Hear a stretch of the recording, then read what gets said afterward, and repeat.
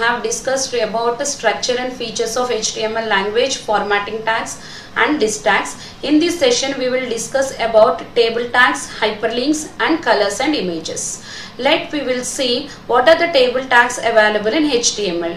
Why we use tables in uh, web pages. Web పేజెస్లో మనం tables అనే వాటిని ఎందుకు యూజ్ చేస్తున్నాము బేసిక్గా టేబుల్ అనే దాన్ని ఏ దే- ఏ ఆబ్జెక్ట్ని రిప్రజెంట్ చేయడానికి యూజ్ చేస్తాము so tables are nothing but collection of two dimensional data two dimensional data అంటే ఏంటి అంటే ఏదైతే డేటాని మనం రోస్ అండ్ కాలమ్స్లో రిప్రజెంట్ చేస్తామో ఆ డేటాని మనం ఏమంటాము అంటే టూ డైమెన్షనల్ డేటా అని పిలుస్తాం. సో ఈ టూ డైమెన్షనల్ డేటా ఎందులో ప్లేస్ అయి ఉంటుంది అంటే సెల్స్లో ప్లేస్ అయి ఉంటుంది. ఇక్కడ మనకి బాక్సెస్గా కనిపిస్తున్నాయి కదా వీటిని మనం సెల్స్ అని పిలుస్తాము. సో ఈ సెల్స్లో మనం డేటాని ఎంటర్ చేయడం అనేది జరుగుతూ ఉంటుంది. ఓకే సో ఈ సెల్లో ఉన్న డేటాని రిప్రజెంట్ చేయడానికి మనం రో వాల్యూ అలాగే కాలం వాల్యూని మెన్షన్ చేస్తాం. సో రో వాల్యూ కాలం వాల్యూని బేస్ చేసుకొని మనం డేటాని రిప్రజెంట్ చేస్తున్నాం కాబట్టి దీని టూ డైమెన్షన్ అంటే రో ఒక డైమెన్షన్ అలాగే కాలం అనేది ఒక డైమెన్షన్గా మనం ఇక్కడ ట్రీట్ చేస్తాం okay? So two dimensional data ఏదైతే ఉంటుందో దాన్ని వెబ్ పేజెస్లో మనం అప్లోడ్ చేయడానికి వెబ్ పేజెస్లో క్రియేట్ చేసుకోవడానికి మనం టేబుల్స్ని క్రియేట్ చేయడం అనేది జరుగుతుంటుంది. So tables are used to structure the pieces of information as well as structure the whole page. So ఒక పర్టికులర్ డేటాని ఎన్హాన్స్ చేయడానికి హైలైట్ చేయడానికి అలాగే హోల్ వెబ్ పేజ్ని హైలైట్ చేయడానికి మనం టేబుల్స్ అనేవి యూజ్ చేయడం జరుగుతుంది. సో టేబుల్స్ని క్రియేట్ చేయడానికి హెచ్డిఎంఎల్లో మనకి సపోర్టెడ్గా ఉన్నటువంటి ట్యాగ్స్ ఏంటి అనేది మనం చూద్దాము. సో ఈ ట్యాగ్స్ ఫస్ట్ ట్యాగ్ ఏంటి అంటే టేబుల్ టిఆర్ టీడీ అలాగే టీహెచ్ సో ప్రతి టేబుల్ కూడా అంటే ఏదైతే మనం కాలమ్న డేటాని వెబ్ పేజ్లో డిస్ప్లే చేయాలని అనుకుంటున్నామో ఆ ప్రతి డేటా కూడా మనం ఏ ట్యాగ్లో ఇంక్లూడ్ చేయాల్సి ఉంటుంది అంటే బేసిక్గా table tag. So opening table tag అలాగే compulsory closing the table tag కూడా ఉంటుంది.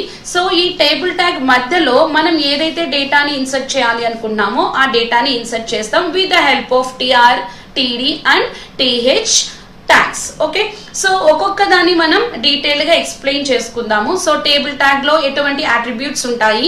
అలాగే టీఆర్ టీడీ టీహెచ్ ట్యాగ్స్ని మనం ఎలా ఇంక్లూడ్ చేయాలి? టేబుల్ ట్యాగ్లో అనేది ఒకసారి మనం చెక్ చేస్తాం ఓకే సో ఫస్ట్ అలాగే ఇంపార్టెంట్ టేబుల్ ట్యాగ్ ఏంటి అంటే టేబుల్ ఓకే ఎప్పుడైనా కూడా ట్యాగ్ యొక్క నేమ్ ఎలా ఉంటుంది అంటే అది చేసేటటువంటి అవుట్పుట్ అంటే దాని నుండి వచ్చే అవుట్పుట్ ఏదైతే ఉంటుందో దాన్ని బట్టి దాని నేమ్ కూడా ఉంటుందన్నమాట. ఓకే సో ఏదైతే మనం నేమ్ చెప్తున్నామో దాని వర్క్ స్టైల్ కూడా అదే విధంగా ఉంటుంది.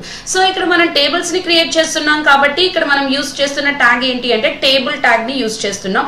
సో ఈ టేబుల్ ట్యాగ్లో మనకి డిఫరెంట్ అట్రిబ్యూట్స్ అనేవి అవైలబుల్గా ఉన్నాయి. ఆ అట్రిబ్యూట్స్ ఏంటి అనేది చూద్దాం. ఫస్ట్ అట్రిబ్యూట్ ఏంటి అంటే border next one width cell spacing cell padding అలాగే ఎలైన్ ఓకే సో వీటిలో మనకి ఆల్రెడీ తెలిసినటువంటి అట్రిబ్యూట్ ఏంటి అంటే ఎలైన్ అనే అట్రిబ్యూట్ సో ఎలైన్ని ఎందుకు యూజ్ చేస్తాం అనేది మనకు ఆల్రెడీ తెలుసు. ఏదైనా ఒక ఆబ్జెక్ట్ని ఒక పర్టికులర్ ప్లేస్లో పొజిషన్ చేసుకోవాలి అంటే ప్లేస్ చేయాలి అంటే మనం అలైన్మెంట్ అనేది కావాలి అనుకున్నాం. సో హెచ్టిఎంఎల్లో మనకి త్రీ టైప్స్ ఆఫ్ అలైన్మెంట్స్ ఉంటాయి. లెఫ్ట్ అలైన్మెంట్ సెంటర్ అలైన్మెంట్ అలాగే రైట్ అలైన్మెంట్ సో అలైన్ అనేటటువంటి అట్రిబ్యూట్ మనం యూజ్ చేయకపోతే మనకి డిఫాల్ట్గా లెఫ్ట్ పొజిషన్లో ప్లేస్ అవ్వడం అనేది జరుగుతుంది. ఏ ఆబ్జెక్ట్ అయినా టేబుల్ అనే కాదు ఏ ఆబ్జెక్ట్ అయినా అలైన్మెంట్లు మనం స్పెసిఫై చేయకపోతే సో లెఫ్ట్ అలైన్మెంట్ని డిఫాల్ట్ అలైన్మెంట్గా తీసుకుంటుంది. ఒకవేళ మీరు పర్టికులర్గా ఏదైనా ఒక ఆబ్జెక్ట్ని సెంటర్లో కానివ్వండి రైట్లో కానివ్వండి అలైన్ చేయాలి అనుకున్నప్పుడు మనం పర్టికులర్గా అలైన్ అనేటటువంటి అట్రిబ్యూట్ని యూజ్ చేయడం అనేది జరుగుతుంది so align equal to center అని నేను టైప్ చేశాను అనుకోండి. సో ఇప్పుడు నేను ఏదైతే క్రియేట్ చేస్తున్నానో ఆ టేబుల్ ఆ టేబుల్ నాకు వెబ్ పేజ్కి సెంటర్ పొజిషన్లో ప్లేస్ అవ్వడం అనేది జరుగుతుంది. రైట్ కావాలి అనుకుంటే మీరు రైట్ సైడ్ కూడా దాన్ని ప్లేస్ చేసుకోవచ్చు ఓకే? సో అలైన్మెంట్ అనేది మనకు ఆల్రెడీ తెలుసు కాబట్టి మనం ఇప్పుడు ఆల్రెడీ చూసేసాము. సో మిగిలినటువంటి అట్రిబ్యూట్స్ ఏమున్నాయి అనేది ఒకసారి మనం చూద్దాం. సో ఫస్ట్ ఆట్రిబ్యూట్ ఏంటి అంటే బోర్డర్ అనేటటువంటి అట్రిబ్యూట్ సో బోర్డర్ అట్రిబ్యూట్ని మనం యూజ్ చేయకపోతే మనకి వితౌట్ బోర్డర్ టేబుల్ అనేది క్రియేట్ అవ్వడం జరుగుతుంది. ఒక చిన్న ఎగ్జాంపుల్ తీసుకుందాం. స్టూడెంట్ నెంబర్ స్టూడెంట్ నేమ్ నేను ఒక స్టూడెంట్ ఇన్ఫర్మేషన్ని పెట్టాలి అనుకుంటున్నాను.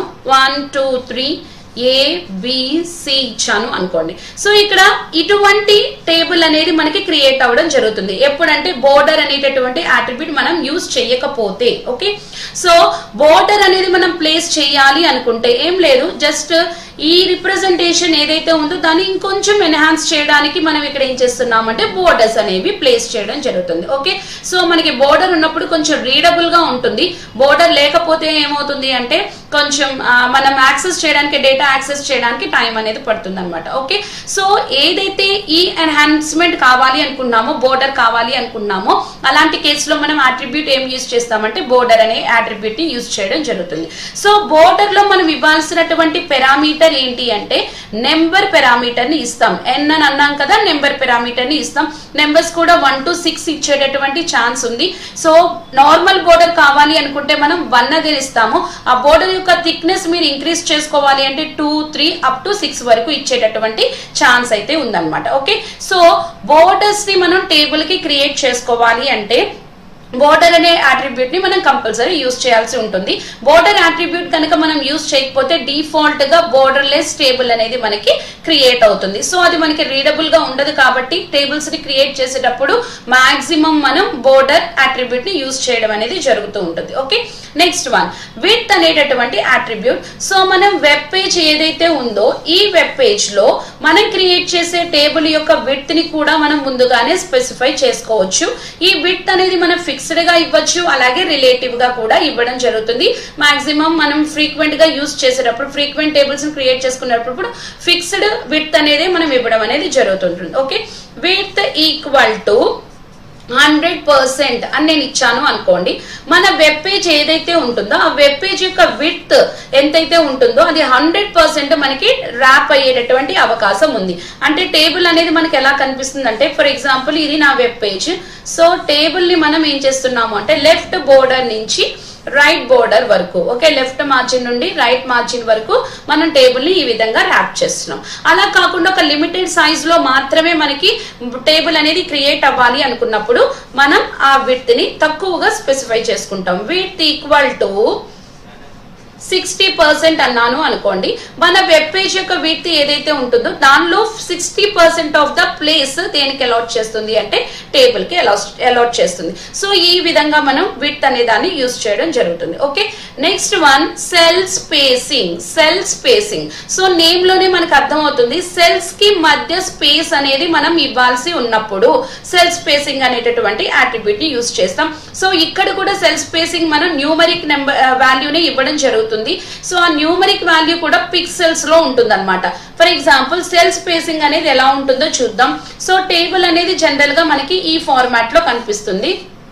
ఓకే సో ఇప్పుడు నాకు టేబుల్ ఇలా కాకుండా ఇది జనరల్ ఫార్మాట్ సో ఇలా కాకుండా నేను ఈ విధంగా సెల్స్ని క్రియేట్ చేసుకోవాలనుకున్నాను. ఇక్కడ నేను సెకండ్ వేస్తున్నటువంటి ఇప్పుడు వేస్తున్నటువంటి ఈ రిప్రజెంటేషన్లో సెల్స్ దేనికి దానికి ఇండివిజువల్గా కనిపిస్తున్నాయి. ఒక దానితో ఒకటి అటాచ్ అవ్వకుండా ఇండివిజువల్గా కనిపిస్తున్నాయి. సో అంటే ఇప్పుడు మనం ఏం చేసామంటే ఇంతకు ముందున్న రిప్రజెంటేషన్లో సెల్కి సెల్కి మధ్య ఉన్న స్పేస్ జీరో పిక్సెల్స్ సో ఇక్కడ నేను యూజ్ చేస్తున్నప్పుడు ఇక్కడ నేను క్రియేట్ చేసినప్పుడు సెల్స్ సెల్కి సెల్కి మధ్య ప్లేస్ అనేది ఎంతో కొంత ప్లేస్ని మనం ఇక్కడ ఇవ్వడం అనేది జరుగుతుంది. ఓకే?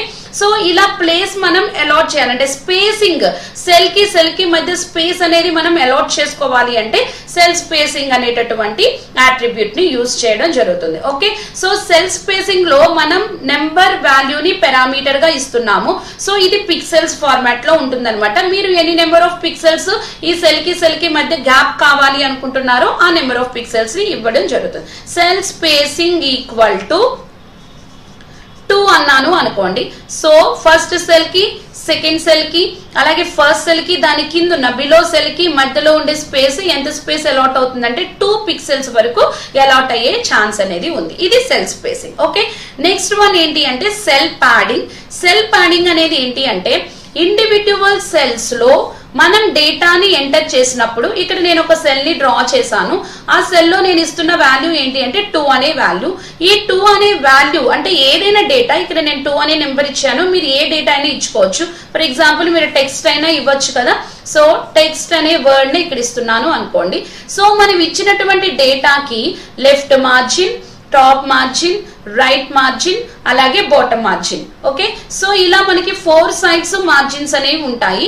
ఈ స్పేస్ ఈ మార్జిన్ స్పేసెస్ని కూడా మనం ఏం చేయొచ్చు అంటే కంట్రోల్ చేసుకోవచ్చు. ఓకే సో టెక్స్ట్కి ఆ టెక్స్ట్ ఉన్నటువంటి సెల్ బోర్డర్కి మధ్య స్పేస్ అలాట్ చేయాలి అంటే మనం దేన్ని యూజ్ చేస్తామంటే సెల్ ప్యాడింగ్ అనేది యూజ్ చేస్తూ ఉంటాం. ఇది కూడా పిక్సెల్స్ ఫార్మాట్లోనే ఇస్తాము. So cell padding equal to two అన్నాను అనుకోండి. సో నాకు two pixels left margin two pixels top margin two pixels right margin అలాగే టూ పిక్సెల్స్ బాటమ్ మార్జిన్ అనేది అలాట్ అవ్వడం అనేది జరుగుతుంటుంది అనమాట okay? So last attribute align align already మనం చెప్పుకున్నాము. సో టేబుల్ని ఎక్కడ పొజిషన్ చేయాలి అనుకుంటే అది ఆ పెరామీటర్ని మనం పాస్ చేయడం అనేది జరుగుతుంది. ఓకే?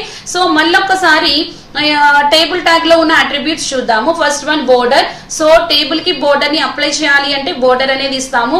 అలాగే టేబుల్ యొక్క విత్ మనం స్పెసిఫై చేయాలి అంటే గనక విత్ అనేటటువంటిది ఇస్తాము. ఒకవేళ విత్ మనం స్పెసిఫై చేయకపోతే హండ్రెడ్ పర్సెంట్ టేబుల్ క్రియేట్ అవుతుంది. అలాగే సెల్కి సెల్కి మధ్య స్పేస్ అనేది మనం అలౌట్ చేసుకోవాలి అంటే గ్యాప్ అనేది ఉండాలి అనుకుంటే సెల్ స్పేసింగ్ ఇస్తాము. అలాగే సెల్ బోర్డర్స్కి సెల్లో మనం ఇన్సర్ట్ చేస్తున్నటువంటి టెక్స్ట్కి మధ్య స్పేస్ బోర్డర్స్ మధ్య స్పేస్ అలాట్ చేయాలి అంటే ఫోర్ సైడ్స్ సెల్ ప్యాడింగ్ ఇస్తాం అలాగే డేటా టేబుల్ని మనం అలైన్ చేసుకోవడానికి పొజిషన్ చేసుకోవడానికి అలైన్ అనేటటువంటి ట్యాగ్ని ఇవ్వడం అట్రిబ్యూట్ని ఇవ్వడం అనేది జరుగుతుంటుంది. ఓకే సో ఇక్కడ అలైన్ అనే అట్రిబ్యూట్లో మాత్రమే త్రీ పారామీటర్స్ ఉన్నాయి. మిగిలిన అన్ని కూడా మనం న్యూమరికల్ పారామీటర్ని ఇవ్వడం అనేది జరుగుతుంటుంది. సో ఈ టేబుల్లో మీరు ఏ రోస్ ఏ కాలమ్స్ క్రియేట్ చేయాలనుకున్నారో అవన్నీ ఇచ్చిన తర్వాత టేబుల్ని కంపల్సరీ ఏం చేయాలి అంటే మనం క్లోజ్ అనేది చేయాలి. ఈ టేబుల్ ట్యాగ్ అనేది మెయిన్ ట్యాగ్ ఈ మెయిన్ ట్యాగ్లో సబ్ ట్యాగ్స్ని మనం క్రియేట్ చేయడం జరుగుతుంది. ఓకే? సో టేబుల్ ట్యాగ్ని యూజ్ చేసి మనం ఒక టేబుల్ని క్రియేట్ చేస్తున్నాం.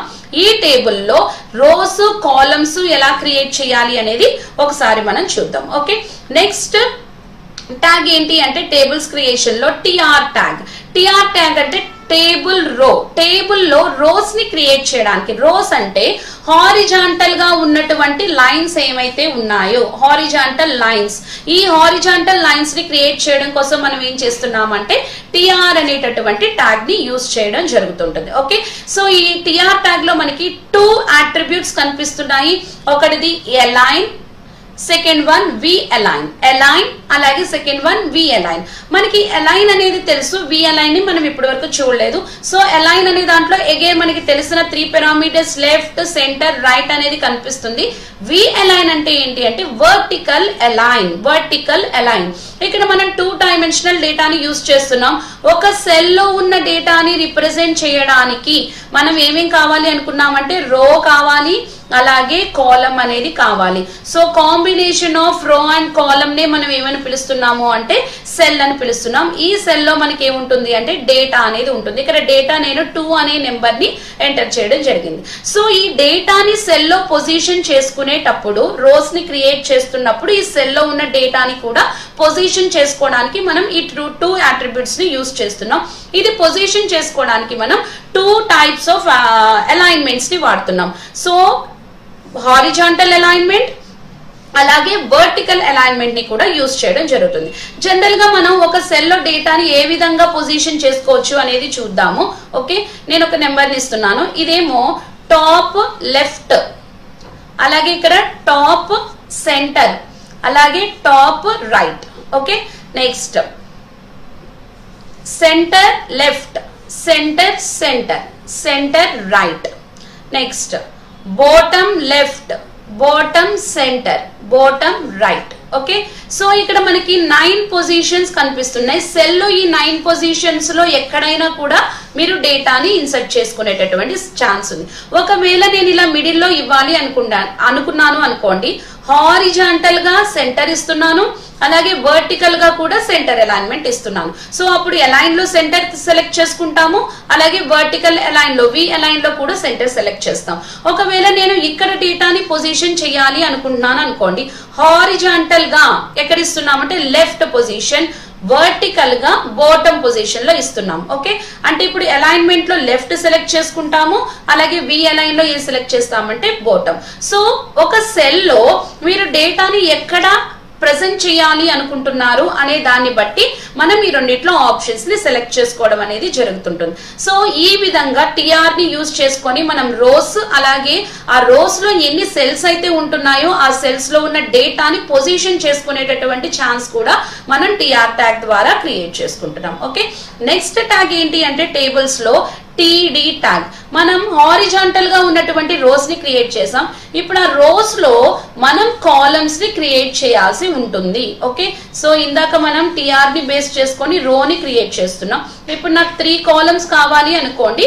నేను అప్పుడు త్రీ టీడీ ట్యాగ్స్ని యూజ్ చేయడం అనేది జరుగుతూ ఉంటుంది. ఓకే సో ఇక్కడ కూడా మనం అలైన్మెంట్స్ ఇచ్చుకోవచ్చు. అలైన్ అలాగే వి అలైన్ ఒకవేళ ఇక్కడ ఎలైన్ వి అలైన్ ఇవ్వలేదు అనుకోండి ఆటోమేటిక్గా ఏ అలైన్మెంట్ తీసుకుంటుందంటే ఆ రో మనం క్రియేట్ చేసినప్పుడు ఏ అలైన్మెంట్ అయితే ఇచ్చామో ఆ అలైన్మెంట్ని డిఫాల్ట్గా తీసుకుంటుంది. ఒకవేళ ఏదైనా ఒక పర్టికులర్ సెల్కి మీరు అలైన్మెంట్ మార్చాలి అనుకుంటే ఈ అలైన్మెంట్స్లో మీరు మార్చుకునేటటువంటి ఛాన్స్ ఉంది okay so horizontal alignment create చేసుకోవడానికి అలైన్ వర్టికల్ అలైన్మెంట్ క్రియేట్ చేసుకోవడానికి వి అలైన్ అనేది యూస్ చేస్తాం సో వర్టికల్ అలైన్మెంట్లో మనకు ఉన్నటువంటి పారామీటర్స్ ఏంటి అంటే టాప్ సెంటర్ అలాగే బోటం అనేటటువంటి పెరామీటర్స్ ఓకే నెక్స్ట్ ఉన్నటువంటి టూ అట్రిబ్యూట్స్ని చూద్దాం. అలాగే చాలా ఇంపార్టెంట్ అట్రిబ్యూట్స్ ఫ్రీక్వెంట్గా మనం యూస్ చేసేవి.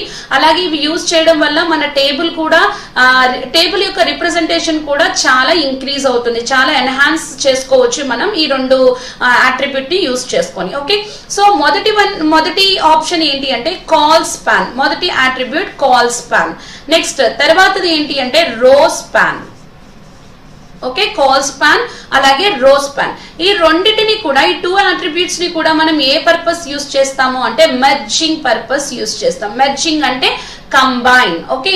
సో చాలా సార్లు మనం ఇలాంటి టేబుల్స్ని చూసే ఉంటాం. సో ఈ రకంగా ఉంటుంది. ఈ రకంగా ఉంటుంది. యాక్చువల్గా టేబుల్లో మొదటి రోలో కూడా కాలమ్స్ ఉన్నాయి.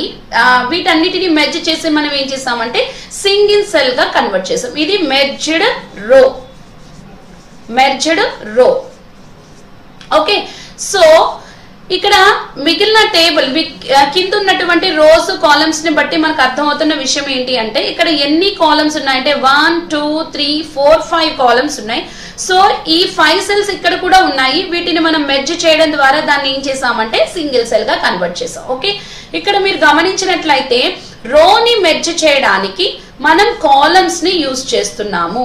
ఓకే? రోని మెర్జ్ చేయడానికి కాలమ్స్ని యూజ్ చేస్తున్నాం. సో ఇప్పుడు మనం కాల్ స్పాన్ యూజ్ చేస్తే మనకి ఏం మెర్జ్ అవుతుందంటే రో అనేది మెర్జ్ అవుతుంది.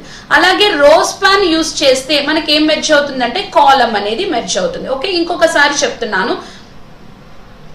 ఇంకొకసారి చెప్తున్నాను వినండి. కాల్ స్పాన్ అంటే ఏంటి అంటే మనం కాలమ్స్ని డిఫరెంట్ ఇండివిజువల్ కాలమ్స్ని మనం కంబైన్ చేసి ఒక సింగిల్ సెల్గా కన్వర్ట్ చేస్తే దాన్ని మనం ఏమంటాము అంటే కాల్ స్పాన్ అని అంటాం. ఓకే మళ్ళీ ఇంకొక టేబుల్ వేస్తున్నాను. సో ఇక్కడ మనకి కాలమ్స్ ఉన్నాయి. ఫోర్ కాలమ్స్ తీసుకుని ఈ ఫోర్ కాలమ్స్ని ఈ పర్టికులర్ రోలో మెర్జ్ చేసి మనం ఏం చేసామంటే సింగిల్ సెల్గా కన్వర్ట్ చేసాం. సో ఇక్కడ మనం కాల్ స్పాన్ యూజ్ చేసి మెర్జ్ చేయడం ద్వారా ఏం మెర్జ్ అవుతుంది? రో అనేది మెర్జ్ అవుతుంది. అదే కనుక మనం రో స్పాన్ యూజ్ చేస్తున్నాము అనుకోండి. ఈ విధంగా కూడా మనం టేబుల్స్ని చూస్తూ ఉంటాము.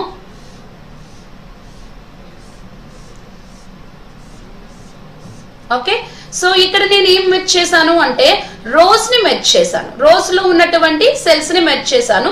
కానీ ఇక్కడ నాకు మెచ్ అయింది ఏంటి అంటే కాలం అనేది మెచ్ అయింది. సో రోస్ పాన్ యూస్ చేసినప్పుడు మనకి కాలం అనేది మెచ్ అవుతుంది. అలాగే కాల్స్ ప్యాన్ యూస్ చేసినప్పుడు ఏం మెచ్ అవుతుంది అంటే రో అనేది మెచ్ అవుతుంది. ఓకే? సో ఇండివిజువల్గా ఉన్నటువంటి సెల్స్ని కంబైన్ చేయడం ద్వారా మనం ఏం చేస్తున్నాము అంటే ఎన్హాన్స్మెంట్ని ఇంక్రీజ్ చేస్తున్నాము. సో అంటే టేబుల్ యొక్క టేబుల్ని మనం ఏం చేస్తున్నాం అంటే ఎన్హాన్స్ చేస్తున్నాం. సో కాల్స్ స్పాన్ యూస్ చేస్తే ఏమవుతుందంటే రో అనేది మెర్జ్ అవుతుంది. అలాగే రో స్పాన్ యూస్ చేస్తే కాలం అనేది మెర్జ్ అవుతుంది. సో ఎన్ని సెల్స్ మెర్జ్ చేయాలి అనేది దేని ద్వారా చెప్తాము అంటే మనం ఎండ్ అనేటటువంటి పెరామీటర్ ద్వారా చెప్తాం. ఫర్ ఎగ్జాంపుల్ నాకు త్రీ కాలమ్స్ మెర్జ్ అవ్వాలి అనుకోండి. Equal to three. సో ఎడ్జసెంట్గా ఉన్నటువంటి త్రీ సెల్స్ ఏమైతే ఉంటాయో ఆ త్రీ కూడా నాకు మెర్జ్ అవుతాయి. దాని వల్ల రో నాకు మెర్జ్డ్ రో కనిపిస్తుంది. అలాగే రో స్పాన్ ఈక్వల్ టు ఫైవ్ అన్నాను అనుకోండి. సో ఇప్పుడు నేను ఏం మెచ్ చేస్తున్నానంటే రోలో ఉన్నటువంటి సెల్స్ని మెచ్ చేస్తున్నాను. సో కాలం లో ఉన్నటువంటి సెల్స్ని మెచ్ చేస్తున్నాను. కాబట్టి ఇక్కడ నాకు ఏమొస్తుందంటే కాలం అనేది మెచ్ అయి కనిపిస్తుంది. ఓకే? రో స్పాన్ అయితే కాలం మెచ్ అవుతుంది. కాల్ స్పాన్ అయితే రో అనేది మెచ్ అవ్వడం జరుగుతుంది. ఎన్ని సెల్స్ మధ్య అవ్వాలి అనేది మనం దేని ద్వారా చెప్తామంటే మనం ఇచ్చేటటువంటి పెరామీటర్ ఓకే? సో టిఆర్ అనే ట్యాగ్ని ఎందుకు యూస్ చేస్తున్నాము అంటే రోని క్రియేట్ చేయడానికి హారిజాంటల్ రోస్ని క్రియేట్ చేయడానికి మనం ఏం చేస్తున్నామంటే టిఆర్ ట్యాగ్ని యూస్ చేస్తున్నాం. అలాగే టీడీ ట్యాగ్ని ఎందుకు యూజ్ చేస్తున్నామంటే వర్టికల్గా ఉన్నటువంటి వాటిని క్రియేట్ చేసుకోవడానికి. అంటే కాలమ్స్ని క్రియేట్ చేసుకోవడానికి ఏం చేస్తున్నాము అంటే మనం టీడీ అనే ట్యాగ్ని యూజ్ చేయడం జరుగుతుంది. ఓకే? రోని క్రియేట్ చేయడానికి టిఆర్ అలాగే కాలమ్ని క్రియేట్ చేయడానికి టీడీ అనేటటువంటి ట్యాగ్ని యూజ్ చేసుకోవడం అనేది జరుగుతుంటుంది. ఓకే? నెక్స్ట్ సపోర్టింగ్ ట్యాగ్ ఏంటి అంటే టేబుల్స్కి టీహెచ్ సో టీహెచ్ కూడా మనకి టీడీ లాగానే ఉంటుంది.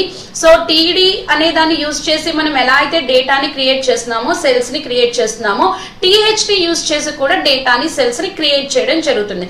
అయితే టీడీకి అలాగే టీహెచ్కి ఉన్న డిఫరెన్స్ ఏంటి అంటే టీడీ అంటే టేబుల్ డేటా టీహెచ్ అంటే హెడింగ్ ఓకే? సో హెడ్డింగ్స్ని మనం ప్లేస్ చేసుకోవాలి అంటే టీడీని ఇస్తాం ఓకే? మనకి తెలుసు టేబుల్స్ని క్రియేట్ చేసేటప్పుడు జనరల్గా మనకి ఫస్ట్ రోలో ఏముంటాయి అంటే హెడ్డింగ్స్ అనేటువంటివి ఉంటాయి. స్టూడెంట్ నెంబర్ సో ఇక్కడ డేటాని ఎంటర్ చేస్తాం మనం. సో హెడ్డింగ్ ఎక్కడ ఉంటుంది అంటే ఫస్ట్ రోలో కనిపిస్తుంది. స్టూడెంట్ నేమ్ సో ఇక్కడ నేమ్స్ మనం ఎంటర్ చేస్తాం. మార్క్స్ ఇక్కడ మార్క్స్ ఎంటర్ చేయడం జరుగుతుంది. సో ఈ రో ఏదైతే ఉంటుందో అది హెడ్డింగ్ రో అన్నమాట. సో హెడ్డింగ్ అనేది మనం జనరల్గా మనం ఆల్రెడీ లాస్ట్ సెషన్లో కూడా చెప్పుకున్నాము. నార్మల్ డేటాని హెడ్డింగ్ని మనం కొంచెం డిఫరెంట్గా చూపించడానికి ట్రై చేస్తాం. ఎందుకంటే రీడబుల్గా ఉండడం కోసం పేజ్ ఓకే సో హెడ్డింగ్స్ని మనం జనరల్గా థిక్నెస్ పెంచుకుంటాము. అలాగే సెంటర్లో అలైన్ చేసుకోవడం జరుగుతుంది అండర్లైన్స్ చేసుకోవడం జరుగుతుంది. రకరకాలుగా మనం ఇక్కడ దాన్ని హైలైట్ చేయడం అనేది జరుగుతుంది. సో ఇక్కడ టీహెచ్ ట్యాగ్ ద్వారా గనక మనం ఈ రోని క్రియేట్ చేసుకుంటే అప్పుడు మనకి ఏమవుతుందంటే మనం ఇచ్చేటటువంటి హెడ్డింగ్ ఆటోమేటిక్గా బోల్డ్లోకి కన్వర్ట్ అవుతుంది. అలాగే దాని పొజిషన్ కూడా ఎలా ఉంటుంది అంటే సెంటర్ అలైన్మెంట్లో ఉంటుంది. ఓకే సో డేటా మనకి సెల్స్లో ఉన్న డేటా సెంటర్ అలైన్మెంట్లో ఉంటూ బోల్డ్ ఎఫెక్ట్తో ఉంటూ డిఫాల్ట్గా మనం డేటాని ఇన్సర్ట్ చేయాలి అంటే అప్పుడు మనం ఏ ట్యాగ్ని యూజ్ చేస్తామంటే టీహెచ్ ట్యాగ్ అనేది యూజ్ చేయడం జరుగుతుంది. ఓకే? టీడీ గానీ టీఆర్ గానీ యూజ్ చేస్తే మనం ఎలా ఎంటర్ చేస్తున్నామో అలానే డేటా ఎంటర్ అవుతుంది. టీహెచ్ని యూజ్ చేయడం వల్ల బోల్డ్ ఎఫెక్ట్ ఉంటుంది. అలాగే సెంటర్ ఎఫెక్ట్ కూడా యాడ్ అయ్యి డేటా అనేది క్రియేట్ అవ్వడం అనేది జరుగుతూ ఉంటుంది. ఓకే? ఈ నాలుగు ట్యాగ్స్ని యూజ్ చేసుకొని మనం ఏం చేస్తామంటే టేబుల్స్ని క్రియేట్ చేయడం జరుగుతుంది. ఓకే మెయిన్ ట్యాగ్ ఏమో టేబుల్ ట్యాగ్ అలాగే రోస్ని క్రియేట్ చేయడానికి టిఆర్ కాలమ్స్ని క్రియేట్ చేయడానికి టీడీ అలాగే సెల్స్లో ఉన్న డేటాని హైలైట్ చేసుకోవాలి అంటే టీహెచ్ ట్యాగ్స్ని యూజ్ చేయడం అనేది జరుగుతూ ఉంటుంది అనమాట ఓకే టీహెచ్ అలాగే టీడీ రెండు ఒకే పర్పస్ యూజ్ చేస్తున్నాము సెల్స్లో డేటాని క్రియేట్ చేయడానికి యూజ్ చేస్తున్నాం బట్ టీహెచ్లో డేటా అనేది థిక్గా కనిపిస్తుంది మనకి బోల్డ్ ఎఫెక్ట్తో టీడీలో అయితే నార్మల్గా డేటా అనేది మనకి కనిపించడం జరుగుతుంది ఓకే ఇవి టేబుల్ ట్యాగ్స్ సో ఒక చిన్న ఎగ్జాంపుల్ తీసుకొని మనం ఏం చేద్దాము అంటే టేబుల్ ట్యాక్స్ని ఒకసారి ఎక్స్ప్లెయిన్ చేసుకుందాం. సో ఇక్కడ ఒక చిన్న ఎగ్జాంపుల్ తీసుకున్నాను నేను. హెడ్లో మనం టైటిల్ ఏం రాస్తున్నాం అంటే సోనో విజన్ అనే టైటిల్ సో బాడీలో ఉన్నటువంటి ట్యాగ్ డేటా మాత్రమే మనకి వెబ్ పేజ్లో కనిపిస్తుంది అనుకున్నాం. సో ఇక్కడ హెడ్డింగ్ ఒకటి తీసుకున్నాము. Welcome to Sono Vision so ఇప్పుడు నాకు పేజ్ ఎలా కనిపిస్తుంది అంటే వెబ్ పేజ్ హెడ్డింగ్ ఏమి ఇచ్చాము welcome to Sono Vision okay ఇలా హెడ్డింగ్ వస్తుంది. నెక్స్ట్ నాన్న బ్రేక్స్ ఇచ్చాము. Next one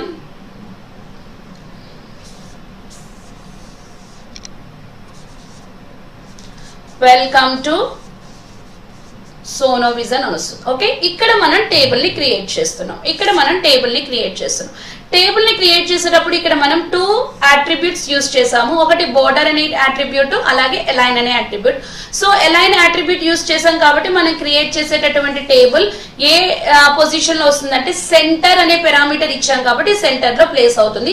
అలాగే బోర్డర్ వన్ ఇచ్చాం కాబట్టి బోర్డర్ కూడా క్రియేట్ అవుతుంది. ఓకే? నెక్స్ట్ ఈ టేబుల్లో మనం మొదటి రోని క్రియేట్ చేస్తున్నాం. ఆ రో అనేది ఈ విధంగా ఉంది. టిఆర్ మళ్ళీ టిఆర్లో మనం టీహెచ్ అంటే డేటాని క్రియేట్ చేసుకుంటున్నాం ఓకే అంటే టీడీ ఇవ్వకుండా మనం హెడ్డింగ్ యూజ్ చేసాం. సో ఇక్కడ ఫస్ట్ రోలో ఏమొస్తుంది అంటే హెడ్డింగ్స్ అనేవి వస్తాయి అనమాట okay colspan equal to three products అంటే ఇప్పుడు త్రీ సెల్స్ని మనం ఏం చేయాలి అంటే మర్జ్ చేస్తున్నాము. సో త్రీ కాలమ్స్ని మెర్జ్ చేయడం ద్వారా ఫస్ట్ రో ని మనం క్రియేట్ చేసుకుంటున్నాం. అక్కడ డేటా ఏం కనిపిస్తుంది అంటే మనకి ప్రోడక్ట్స్ అనేది కనిపిస్తుంది. ప్రోడక్ట్స్ ఇది ఫస్ట్ రో క్రియేట్ అయింది. సో ఫస్ట్ రో ని మనం క్లోజ్ చేసుకున్నాము. అలాగే టీహెచ్ని కూడా క్లోజ్ చేసాం. ఇక్కడ సెకండ్ రో ని మనం క్రియేట్ చేస్తున్నాం. ఇది ఫస్ట్ రో ఇక్కడ సెకండ్ రో ని క్రియేట్ చేస్తున్నాం. సెకండ్ రోలో త్రీ సెల్స్ని మనం క్రియేట్ చేసుకున్నాం. ఇవి కూడా హెడ్డింగ్స్ టీహెచ్ యూస్ చేసాం కాబట్టి ఇవి కూడా headings so company next one product next one price company product price అనేవి ఇక్కడ మనకి డిస్ప్లే అవుతాయి. సో ఈ రోని కూడా మనం క్రియేట్ చేసేసుకున్నాం. సెకండ్ రో కూడా క్రియేట్ అయింది. ఓకే నెక్స్ట్ థర్డ్ రోలో మనకి ఏముంటుంది అంటే థర్డ్ రోలో మేము ఇక్కడ క్రియేట్ చేస్తున్నాము. థర్డ్ రోలో first TD inch rowspan equal to two. Rowspan అంటే ఏం చేస్తున్నాము అంటే కాలం ని మెర్జ్ చేస్తున్నాం. సో ఈ టూ సెల్స్ ఏవైతే ఉన్నాయో ఈ టూ సెల్స్ని మనం మెర్జ్ చేసేసి సింగిల్ సెల్గా మనం క్రియేట్ చేయడం అనేది జరుగుతుంది. అంటే ఇక్కడ మనకి ఇది ఏమవుతుందంటే సింగిల్ సెల్గా ఉంటుంది. ఇక్కడ మాత్రం టూ డిఫరెంట్ రోస్ అనేవి యాడ్ అవుతాయి. ఓకే? ఇక్కడ Samsung. Okay? Next TD value. TV. Next value twelve thousand okay ఇక్కడ రోని క్లోజ్ చేసాం. నెక్స్ట్ నాన్న ఇది థర్డ్ రో నెక్స్ట్ ఫోర్త్ రోని క్రియేట్ చేస్తున్నాం. ఫోర్త్ రోలో మళ్ళీ washing machine already first value fill అయిపోయింది కాబట్టి ఇక్కడ వాషింగ్ మెషిన్ వస్తుంది.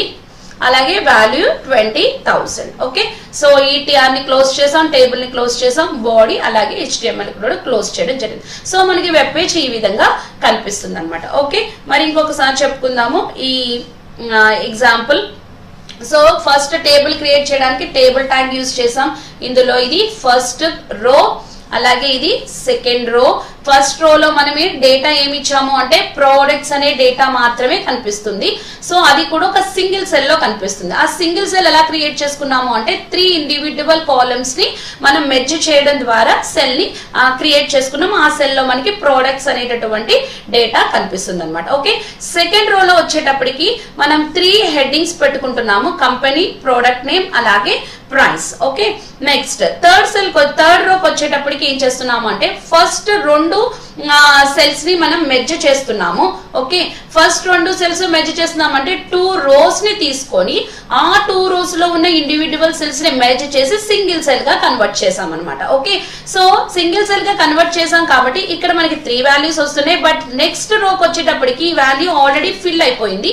సో నెక్స్ట్ టూ వాల్యూస్ మాత్రమే ఇవ్వడం మనకి జరిగింది అనమాట ఓకే ఈ విధంగా మనం టేబుల్స్ని క్రియేట్ చేయడం అనేది జరుగుతూ ఉంటుంది. ఓకే నెక్స్ట్ హైపర్ లింక్స్ ఒకసారి మనం చూద్దాం. Okay hyperlinks are the text items or image items they contain another file or another link okay hyper లింక్స్ని మనం ఎందుకు యూజ్ చేస్తున్నాము అంటే హైపర్ లింక్ అనేది ఒక టెక్స్ట్ కావచ్చు లేకపోతే ఒక ఇమేజ్ కావచ్చు.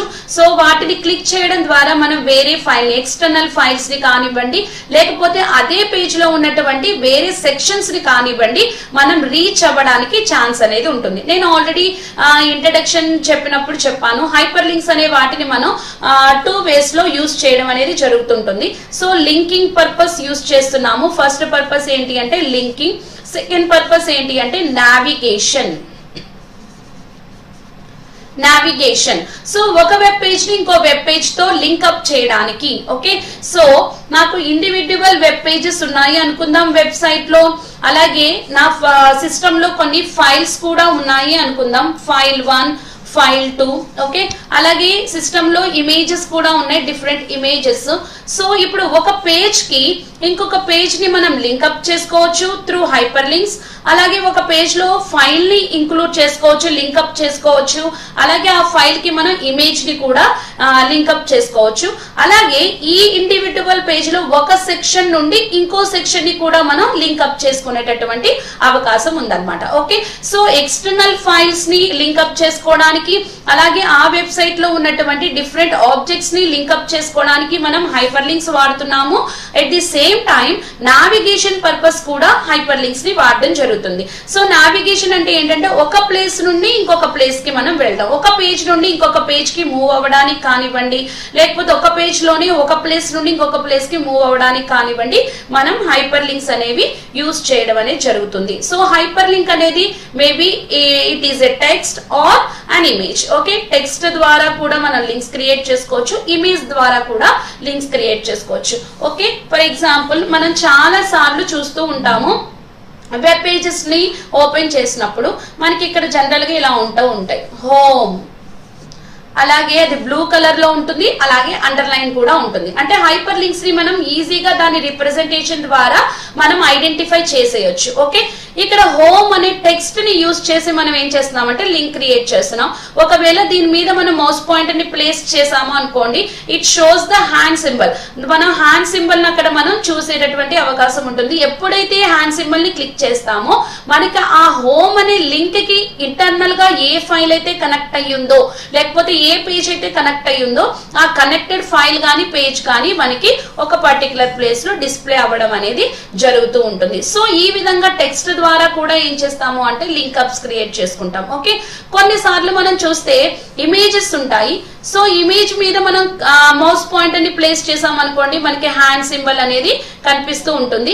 దాన్ని మనం క్లిక్ చేసినప్పుడు కూడా మనకి వేరే ఫైల్ ఓపెన్ అవ్వడము లేకపోతే వేరే ఏదైనా ఇమేజ్ ఓపెన్ అవ్వడం ఇలాంటివన్నీ కూడా మనం చూస్తూ ఉంటాము. సో ఇక్కడ మనం ఎలా లింకప్ చేస్తున్నాము అంటే ఇమేజ్ని బేస్ చేసుకొని మనం ఫైల్స్ని లింకప్ చేయడం అనేది జరుగుతూ ఉంటుంది. ఈ విధంగా మీరు ఏ ఫార్మాట్ మీకు అవసరం అనుకుంటే ఆ ఫార్మాట్ని యూస్ చేసుకొని మీరు లింక్స్ అనేవి క్రియేట్ చేసుకోవచ్చు. అలాగే హైపర్ లింక్స్ ఎన్ని రకాలుగా క్రియేట్ చేసుకోవాలి ఎన్ని టైప్స్ ఉన్నాయి ఇవి కూడా మనం ఒకసారి చూద్దాం. ఓకే సో హైపర్ లింక్స్ అనేది బేసిక్గా ఏంటి అంటే నావిగేషన్ అలాగే లింకింగ్ పర్పస్ మనం హెచ్డిఎంఎల్ లాంగ్వేజ్లో వెబ్ పేజెస్లో హైపర్ లింక్స్ అనేవి క్రియేట్ ఇన్సర్ట్ uh, చేయడం అనేది జరుగుతూ ఉంటుంది. సో వీటి ద్వారా మనం ఒక పేజ్ నుండి ఇంకొక పేజ్కి నావిగేట్ అవ్వచ్చు. అలాగే ఎక్స్టర్నల్ ఫైల్స్ని ఇంక్లూడ్ చేసుకునేటటువంటి అవకాశం కూడా హైపర్ లింక్స్ ద్వారా మనం వెబ్ పేజెస్లో క్రియేట్ చేస్తున్నాం. ఓకే సో ఈ హైపర్ లింక్స్ని ఎలా క్రియేట్ చేయాలి అనేది చూద్దాం. అలాగే సపోర్టింగ్ ట్యాగ్స్ ఏమున్నాయి అనేది కూడా ఒకసారి చూద్దాం. ఓకే యాంకర్ ట్యాగ్ని యూజ్ చేయడం ద్వారా మనం హైపర్ లింక్స్ని క్రియేట్ చేస్తాం. యాంకర్ ట్యాగ్ని ఎలా రిప్రజెంట్ చేస్తున్నాము అంటే ఏ అనేటటువంటి ట్యాగ్తో రిప్రజెంట్ చేస్తున్నాం. A okay? యాంకర్ ట్యాగ్ని ఓపెన్ చేస్తాం. అలాగే క్లోజింగ్ కూడా చేయాలి. సో దీనిలో మళ్ళీ మీరు ఏమైనా లింక్స్ క్రియేట్ చేసుకోవాలంటే డేటాని ఎంటర్ చేయాలి అంటే ఆ డేటాని ఎంటర్ చేయడం జరుగుతుంది. ఓకే? సరే. ఈ యాంకర్ ట్యాగ్లో మనకి త్రీ అట్రిబ్యూట్స్ కనిపిస్తున్నాయి. హెచ్ఆర్ఈఎఫ్ నేమ్ అలాగే టార్గెట్ హెచ్ఆర్ఈఎఫ్ నేమ్ అలాగే టార్గెట్ హెచ్ఆర్ఈఎఫ్ అనేది ఏంటి అంటే hypertext reference. Hypertext reference. ఏ ఫైల్ అయితే మనం ఓపెన్ చేయాలి అనుకుంటున్నామో దాని యొక్క address URL uniform resource locator. URL means uniform resource locator. URL ఏదైతే ఉంటుందో అడ్రస్ ఏదైతే ఉంటుందో ఫైల్ యొక్క అడ్రస్ దాన్ని మనం ఎందులో ఎంటర్ చేస్తాము అంటే హెచ్ఆర్ఈఎఫ్లో ఎంటర్ చేస్తాం. ఓకే? ఫర్ ఎగ్జాంపుల్ నా సిస్టమ్లో ఫైల్ వన్ అనేది ఉంది. ఓకే నేను ఒక వెబ్ పేజ్ని క్రియేట్ చేశాను. ఓకే దానికి ఒక లింక్ క్రియేట్ చేశాను. ఫర్ ఎగ్జాంపుల్ బయోడేటా అనే లింక్ క్రియేట్ చేశాను అనుకుందాం. ఓకే? దీన్ని నేను ఇంటర్నల్గా దేనికి కనెక్ట్ చేశానంటే ఫైల్ వన్కి కనెక్ట్ చేశాను. సో నేను ఎప్పుడైతే దీన్ని క్లిక్ చేస్తానో ఆ ఫైల్ వన్ నాకు ఓపెన్ అవ్వడం అనేది జరుగుతూ ఉంటుంది. ఓకే? ఈ ఈ ఓపెన్ అవ్వడం అనేది ఒక్కోసారి ఫైల్ డైరెక్ట్గా ఓపెన్ అవుతుంది. లేకపోతే ఈ వెబ్ పేజ్లోనే ఒక పర్టికులర్ ప్లేస్లో టెక్స్ట్ అనేది డిస్ప్లే అవ్వడం జరుగుతుంది. లేకపోతే కొన్నిసార్లు న్యూ ట్యాబ్ ఓపెన్ అయ్యి ఆ న్యూ ట్యాబ్లో కూడా మనకి డేటా డిస్ప్లే అయ్యేటటువంటి ఛాన్స్ అనేది ఉందన్నమాట. ఓకే సో ఎలా కావాలంటే అలా మనం ఫైల్ని ఓపెన్ చేసుకునేటటువంటి ఛాన్స్ అయితే ఉంటుంది. ఓకే సో ఎక్స్టర్నల్గా ఫైల్స్ని క్రియేట్ చేయడానికి ఆ ఫైల్ యొక్క అడ్రస్ ఏదైతే ఉంటుందో ఓకే ఏ ఫైల్ అయితే మనం open చేయాలనుకుంటున్నామో okay which file we have to open అనేది మనం ఎక్కడ చెప్తాము అంటే హెచ్ఆర్ఈఎఫ్లో చెప్తాం. హెచ్ఆర్ఈఎఫ్లో మనం యూజ్ చేసే అడ్రస్ని బట్టి ఆ పర్టికులర్ ఫైల్ ఆ పర్టికులర్ హైపర్ లింక్ క్లిక్ చేసిన చేసినప్పుడు లింక్ క్లిక్ చేసినప్పుడు ఏదైతే మనం యాడ్ చేస్తున్నామో హెచ్ఆర్ఈఎఫ్లో ఏదైతే మనం యుఆర్ఎల్ ఇచ్చి ఉన్నామో ఆ ఫైల్ మనకి ఓపెన్ అవ్వడం అనేది జరుగుతూ ఉండదు. ఓకే నెక్స్ట్ హైపర్ లింక్ని మనం ఐడెంటిఫై చేయడం కోసం హైపర్ లింక్ ఒక నేమ్ కూడా ఇవ్వచ్చు మనం. ఓకే సో ఫైల్స్ని ఐడెంటిఫై చేయడానికి ఫైల్స్ని నేమ్ ఎలా ఇస్తున్నామో ఇక్కడ హైపర్ లింక్స్ని ఐడెంటిఫై చేయడానికి ఫర్దర్గా తర్వాత ఇంటర్నల్ ప్రాసెసింగ్స్ ఎక్కడైనా కూడా జరుగుతున్నప్పుడు వాటిలో ఏమైనా లింక్స్ని యూజ్ చేయాల్సి వచ్చినప్పుడు ఆ లింక్ని ఐడెంటిఫై చేయాలి అంటే ఆ లింక్ ఒక నేమ్ అనేది మనం ఇవ్వాలి. ఆ నేమ్ ఇవ్వడానికి మనం ఇక్కడ ఏం యూజ్ చేస్తున్నాము అంటే నేమ్ అనేటటువంటి అట్రిబ్యూట్ని యూజ్ చేయడం జరుగుతుంది. ఓకే సో నెక్స్ట్ అట్రిబ్యూట్ ఏంటి అంటే టార్గెట్ టార్గెట్ అనేది ఎందుకు యూజ్ చేస్తామంటే మనం ఏ ఫైల్ అయితే ఓపెన్ చేస్తున్నామో ఫైల్ ఎక్కడ ఓపెన్ అవ్వాలి? ఓకే ఎక్కడ ఓపెన్ అవ్వాలి? ఎక్కడ ఓపెన్ అవ్వడం అంటే మన వెబ్ పేజ్ ఉంది. జనరల్గా మనం చాలా సార్లు చూస్తూ ఉంటాం. ఇక్కడ హెడ్డింగ్స్ కనిపిస్తుంటుంది. వెబ్ పేజ్ యొక్క స్టైల్ జనరల్గా ఈ విధంగా ఉంటుంది. లెఫ్ట్ సైడ్ అన్ని కూడా మనకి లింక్స్ ఉంటాయి. Home page one page two okay ఇలా లింక్స్ ఉన్నాయి అనుకుందాం. హోమ్ క్లిక్ చేయగానే హోమ్లో ఉన్నటువంటి ఇన్ఫర్మేషన్ ఈ రైట్ సైడ్ ఉన్నటువంటి ఏరియాలో కనబడడం జరుగుతుంది. ఓకే? అలాగే పేజ్ వన్ క్లిక్ చేసినప్పుడు ఆ పేజ్ వన్లో ఉన్న ఇన్ఫర్మేషన్ ఈ రైట్ సైడ్ ఏరియాలో అంటే ఇంత ఇంతకు ముందు ఓపెన్ అయి ఉన్న హోమ్ డిజపియర్ అయిపోయి ఇప్పుడు మళ్ళీ మనకి ఏ డేటా కొత్తగా కనిపిస్తుంది అంటే పేజ్ వన్లో ఉన్నటువంటి డేటా మనకి ఇక్కడ కనిపించడం జరుగుతుంది. ఒకవేళ మేము పేజ్ టూ క్లిక్ చేసాము అనుకోండి పేజ్ టూ లో ఏ కంటెంట్ అయితే ఉందో ఆ కంటెంట్ ఇక్కడ రీప్లేస్ అవ్వడం అనేది జరుగుతుంటుంది. అంటే ఇప్పుడు మనం లింక్స్ క్లిక్ చేసినప్పుడు మనం దాన్ని ఎక్కడ డిస్ప్లే చేస్తున్నామంటే అదే పేజ్లో ఉన్నటువంటి ఫ్రేమ్ కానివ్వండి వేరే ఏరియా కానివ్వండి ఇది ఎక్కడైనా క్రియేట్ చేయడం జరుగుతుంది. ఓపెన్ చేయడం అనేది జరుగుతుంది. కొన్నిసార్లు మనం వెబ్ పేజ్ ఉంటుంది. ఓకే హోమ్ లింక్ ఇచ్చాను అనుకోండి క్లిక్ చేయగానే మళ్ళీ వేరే వెబ్ పేజ్ ఓపెన్ అయ్యి అందులో డేటా ఓపెన్ అవ్వడం అనేది జరుగుతుంది. అంటే న్యూ ఫైల్లో న్యూ విండోలో ఓపెన్ అవ్వడం అనేది జరుగుతుంది. ఓకే కొన్నిసార్లు ఏం జరుగుతుంది అంటే మనం లింక్ని క్లిక్ చేసినప్పుడు లింక్ క్లిక్ చేసినప్పుడు అదే వెబ్ విండోలో వేరొక న్యూ ట్యాబ్లో అది ఓపెన్ అయ్యి ఉండడం అనేది జరుగుతుంది. ఓకే? త్రీ వేస్గా ఇక్కడ నేను మీకు చెప్పడం జరిగింది. సో ఫైల్ ఓపెన్ చేయడానికి అదే వెబ్ పేజ్లో ఓపెన్ చేస్తుంది. లేకపోతే న్యూ విండోలో ఓపెన్ చేస్తుంది. లేకపోతే న్యూ ట్యాబ్లో కూడా ఓపెన్ చేసేటటువంటి అవకాశం ఉంది. ఓకే? సో అంటే ఇక్కడ డిఫరెంట్ ఏరియాస్లో మనం ఫైల్ కంటెంట్ అనేది చూస్తున్నాము. ఆ ఫైల్ కంటెంట్ ఎక్కడ ఓపెన్ అవ్వాలి అనేది మనం ఎక్కడ ఇస్తాము అంటే టార్గెట్ అనే దాంట్లో ఇస్తాం అనమాట ఓకే? ఇవి త్రీ అట్రిబ్యూట్స్ మనకి యాంకర్ ట్యాగ్లో ఎక్కువగా కనిపించాయి సో యాంకర్ ట్యాగ్లో ఏ ఫైల్ అయితే యాడ్ చేయాలి అనుకుంటున్నామో which file has to be opened అనేది ఎక్కడ చెప్తాము అంటే హెచ్ఆర్ఎఫ్ హైపర్ లింక్కి మనం ఏదైనా ఒక నేమ్ అలాట్ చేయాలి అనుకుంటే కనుక నేమ్ అట్రిబ్యూట్ యూస్ చేస్తాము. అలాగే మనం ఓపెన్ చేస్తున్నటువంటి మనం కనెక్ట్ చేస్తున్నటువంటి ఫైల్ ఏదైతే ఉందో లింక్అప్ చేస్తున్న ఫైల్ అది ఏ ఏరియాలో ఓపెన్ అవ్వాలి? న్యూ ట్యాబ్లో ఓపెన్ అవ్వాలా? న్యూ విండోలో ఓపెన్ అవ్వాలా? లేకపోతే అదే పేజ్లో ఓపెన్ అవ్వాలా? అని మనం చెప్పడం కోసం మనం ఏం చేస్తాము అంటే టార్గెట్ అనేటటువంటి అట్రిబ్యూట్ని యూస్ చేయడం జరుగుతుంది. ఓకే నెక్స్ట్ నెక్స్ట్ హైపర్ లింక్స్లో ఉన్నటువంటి టైప్స్ ఓకే యాంకర్ ట్యాగ్ని బేస్ చేసుకొని మనం హైపర్ లింక్స్ని క్రియేట్ చేస్తున్నాము. సో ఎన్ని రకాల హైపర్ లింక్స్ని మనం క్రియేట్ చేసుకోవచ్చు? ఓకే సో హెచ్టిఎంఎల్లో మనం ఫోర్ టైప్స్ ఆఫ్ హైపర్ లింక్స్ని క్రియేట్ చేసుకునే పాసిబిలిటీ ఉంది.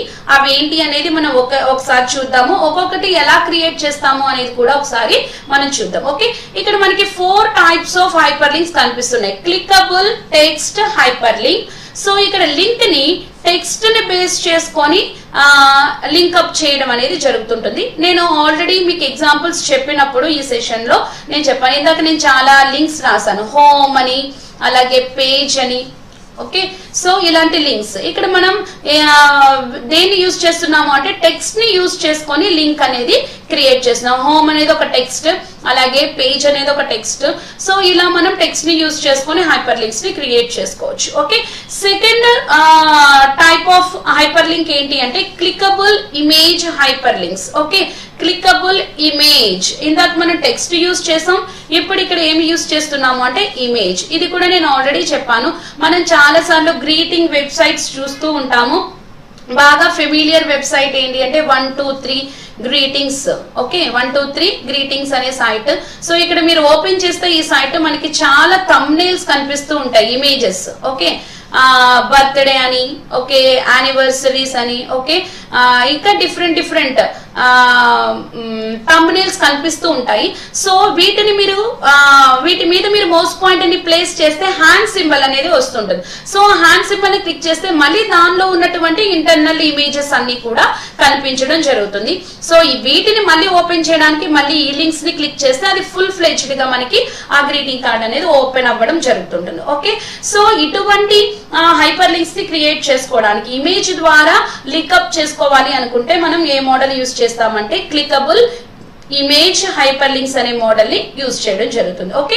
నెక్స్ట్ థర్డ్ మోడల్ ఏంటి అంటే mail hyperlinks okay? Mail hyperlinks ఎప్పుడు మనం యూజ్ చేస్తామంటే మనం చాలా సార్లు ఏదైనా ఇన్ఫర్మేషన్ని వెబ్ పేజ్లో చూస్తూ ఉంటాము. ఆ, వాళ్ళు ఇలా రాస్తూ ఉండడం మనం గమనించి ఉంటాం. For enquiry contact us for enquiry contact us ఇది హైపర్ లింక్ యాక్చువల్గా అది మనకి బ్లూ కలర్లో కనిపిస్తుంది అండర్లైన్ ఉంటుంది.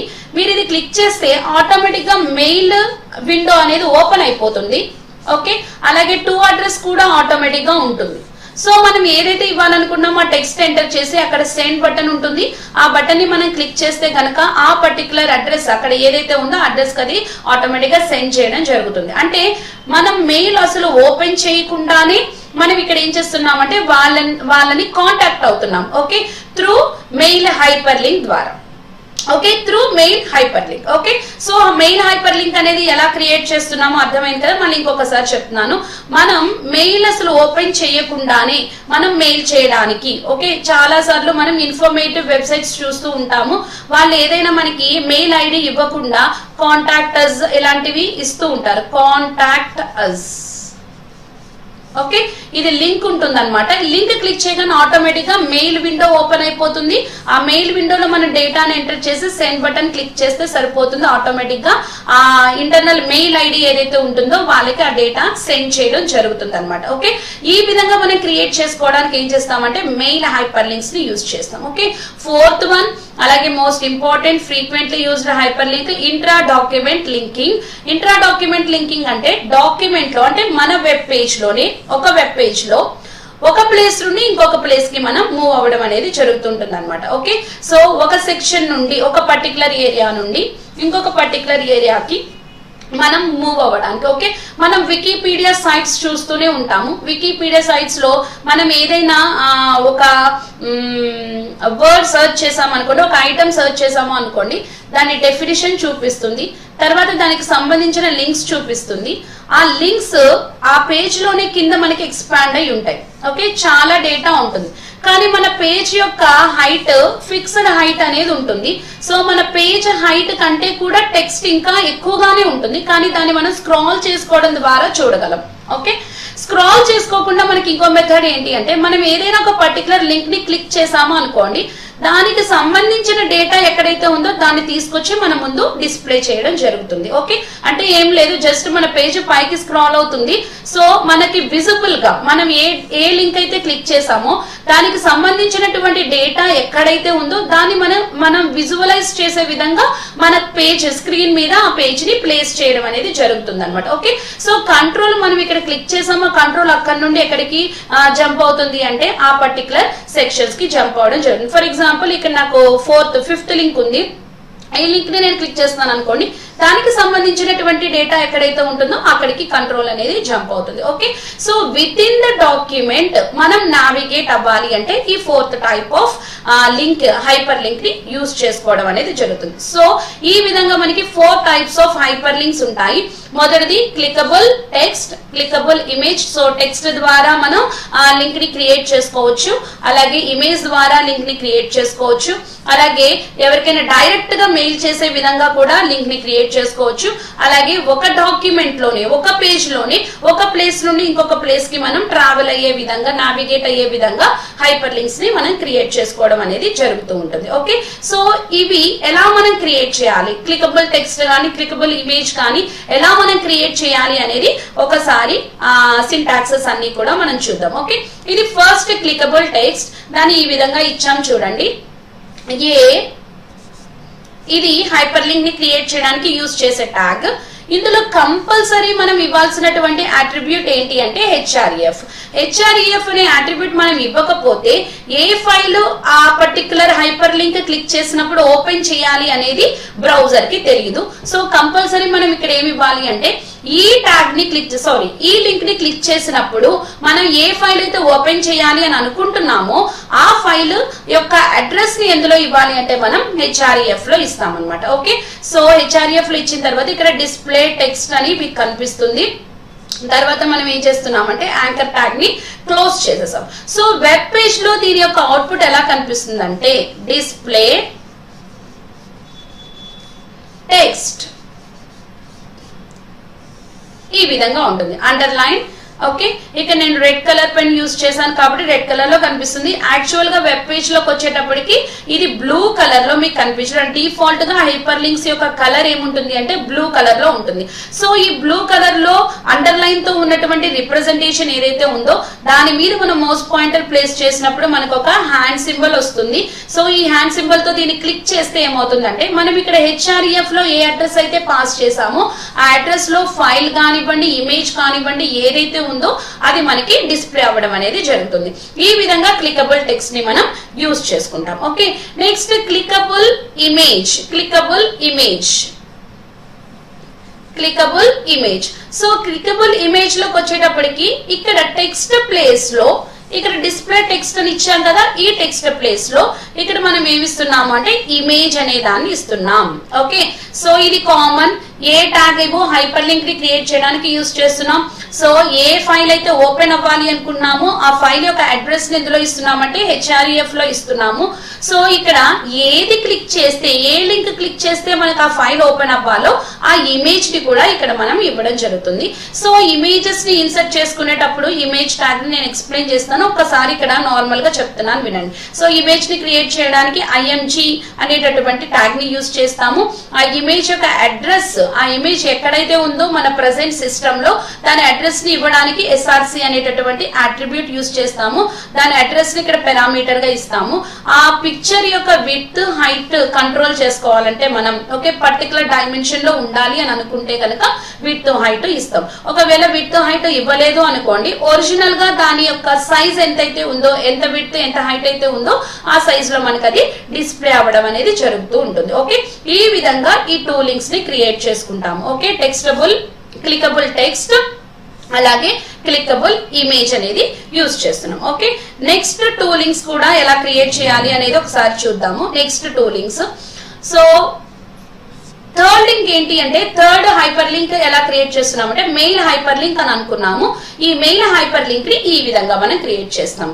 ఏ హెచ్ఆర్ఈఎఫ్ అట్రిబ్యూట్లో ఇప్పటి వరకు మనం అడ్రస్ ఇచ్చాము.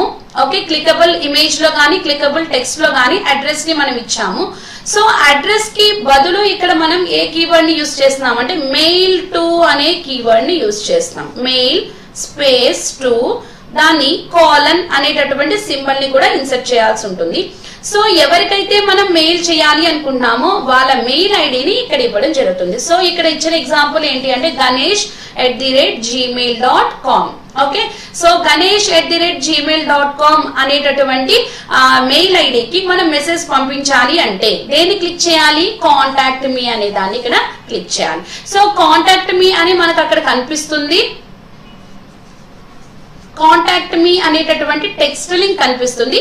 దీన్ని క్లిక్ చేస్తే నేను ఇందాక చెప్పాను కదా మనకు ఒక మెయిల్ బాక్స్ అనేది ఓపెన్ అయిపోతుంది. మనం ఏదైతే టెక్స్ట్ ఇచ్చి సెండ్ బటన్ క్లిక్ చేస్తామో అప్పుడు అది ఎక్కడికి వెళ్తుంది అంటే మనం ఇక్కడ ఇంటర్నల్గా ప్రోగ్రామ్ క్రియేట్ చేసేటప్పుడు ఇచ్చినటువంటి అడ్రస్ ఏదైతే ఉంటుందో మెయిల్ ఐడి ఏదైతే ఉంటుందో ఆ మెయిల్ ఐడికి అది పాస్ అవ్వడం అనేది జరుగుతుంది అనమాట ఈ విధంగా మెయిల్స్ని మెయిల్ హైపర్ లింక్స్ని మనం క్రియేట్ చేసుకోవడం అనేది జరుగుతుంటుంది. ఓకే లాస్ట్ మెథడ్ ఏంటి అంటే హైపర్ లింక్స్ క్రియేట్ చేసుకునేటప్పుడు intra document linking intra document linking అనేది నేను ఆల్రెడీ చెప్పాను మీకు. Within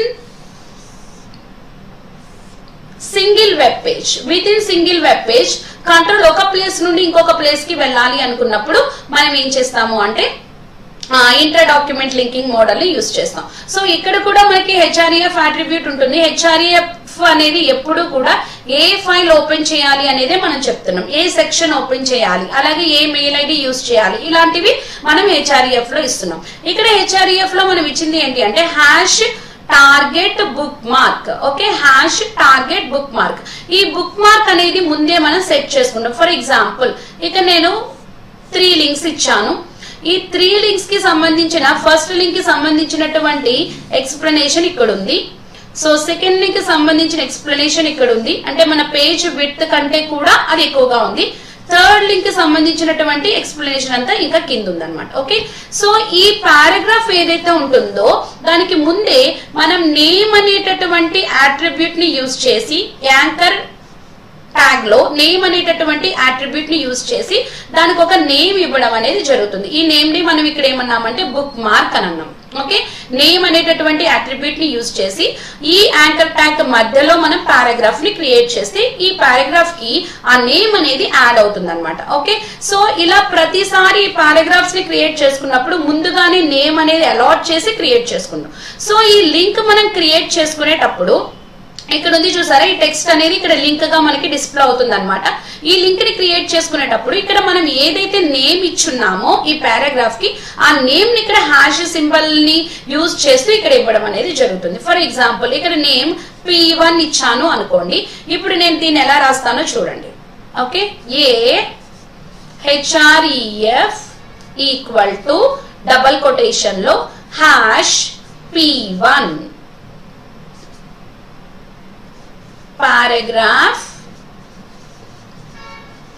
1 A ట్యాగ్ని క్లోజ్ చేశాను. ఓకే సో ఇప్పుడు నాకు పారాగ్రాఫ్ వన్ అనేది పేజ్లో లింక్ నేమ్ పారాగ్రాఫ్ వన్ అనేది లింక్ యొక్క నేమ్ సో ఈ లింక్ క్లిక్ చేసినప్పుడు నాకు ఏ పారాగ్రాఫ్ ఓపెన్ అవుతుంది? పి వన్ అనే నేమ్ ఇచ్చినటువంటి పారాగ్రాఫ్ నాకు ఏదైతే ఉంటుందో అది నాకు ఓపెన్ అవ్వడం అనేది జరుగుతుంది.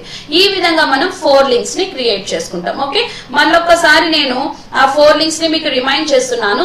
ఫస్ట్ వన్ ఏంటి అంటే clickable image sorry clickable text text ద్వారా హైపర్ లింక్ని క్రియేట్ చేసుకుంటున్నాం. తర్వాత క్లికబుల్ ఇమేజ్ ఇమేజ్ ద్వారా హైపర్ లింక్ని మనం క్రియేట్ చేసుకుంటున్నాము. తర్వాత మెయిన్ హైపర్ లింక్ సో ఈ హైపర్ లింక్ ఏం చేస్తుందంటే డైరెక్ట్గా వేరే మెయిల్స్లోకి ఇన్ఫర్మేషన్ పాస్ అయ్యే విధంగా ఉంటుంది. తర్వాత intra document linking intra document linking అంటే ఒక పేజ్లోనే ఒక ప్లేస్ నుండి ఇంకొక ప్లేస్కి డేటా అనేది ట్రాన్స్ఫర్ అవ్వడం కంట్రోల్ అనేది ట్రాన్స్ఫర్ అవ్వడం అనేది జరుగుతూ ఉంటుంది. See uh, an example for hyperlink tags. Uh, here is the program. Uh, okay body దగ్గర నుంచి చూద్దాము. సో ఇక్కడ నాకు ఒక హెడ్డింగ్ కోసం నేను ఇది యూస్ చేశాను హెచ్ వన్ ట్యాగ్లో. సో వెబ్ పేజ్లో మనకి మై వెబ్సైట్స్ అనేటటువంటి హెడ్డింగ్ ఒకటి వస్తుంది. My websites. ఓకే? సో ఇక్కడ మనం బ్రేక్ యూస్ చేస్తున్నాము.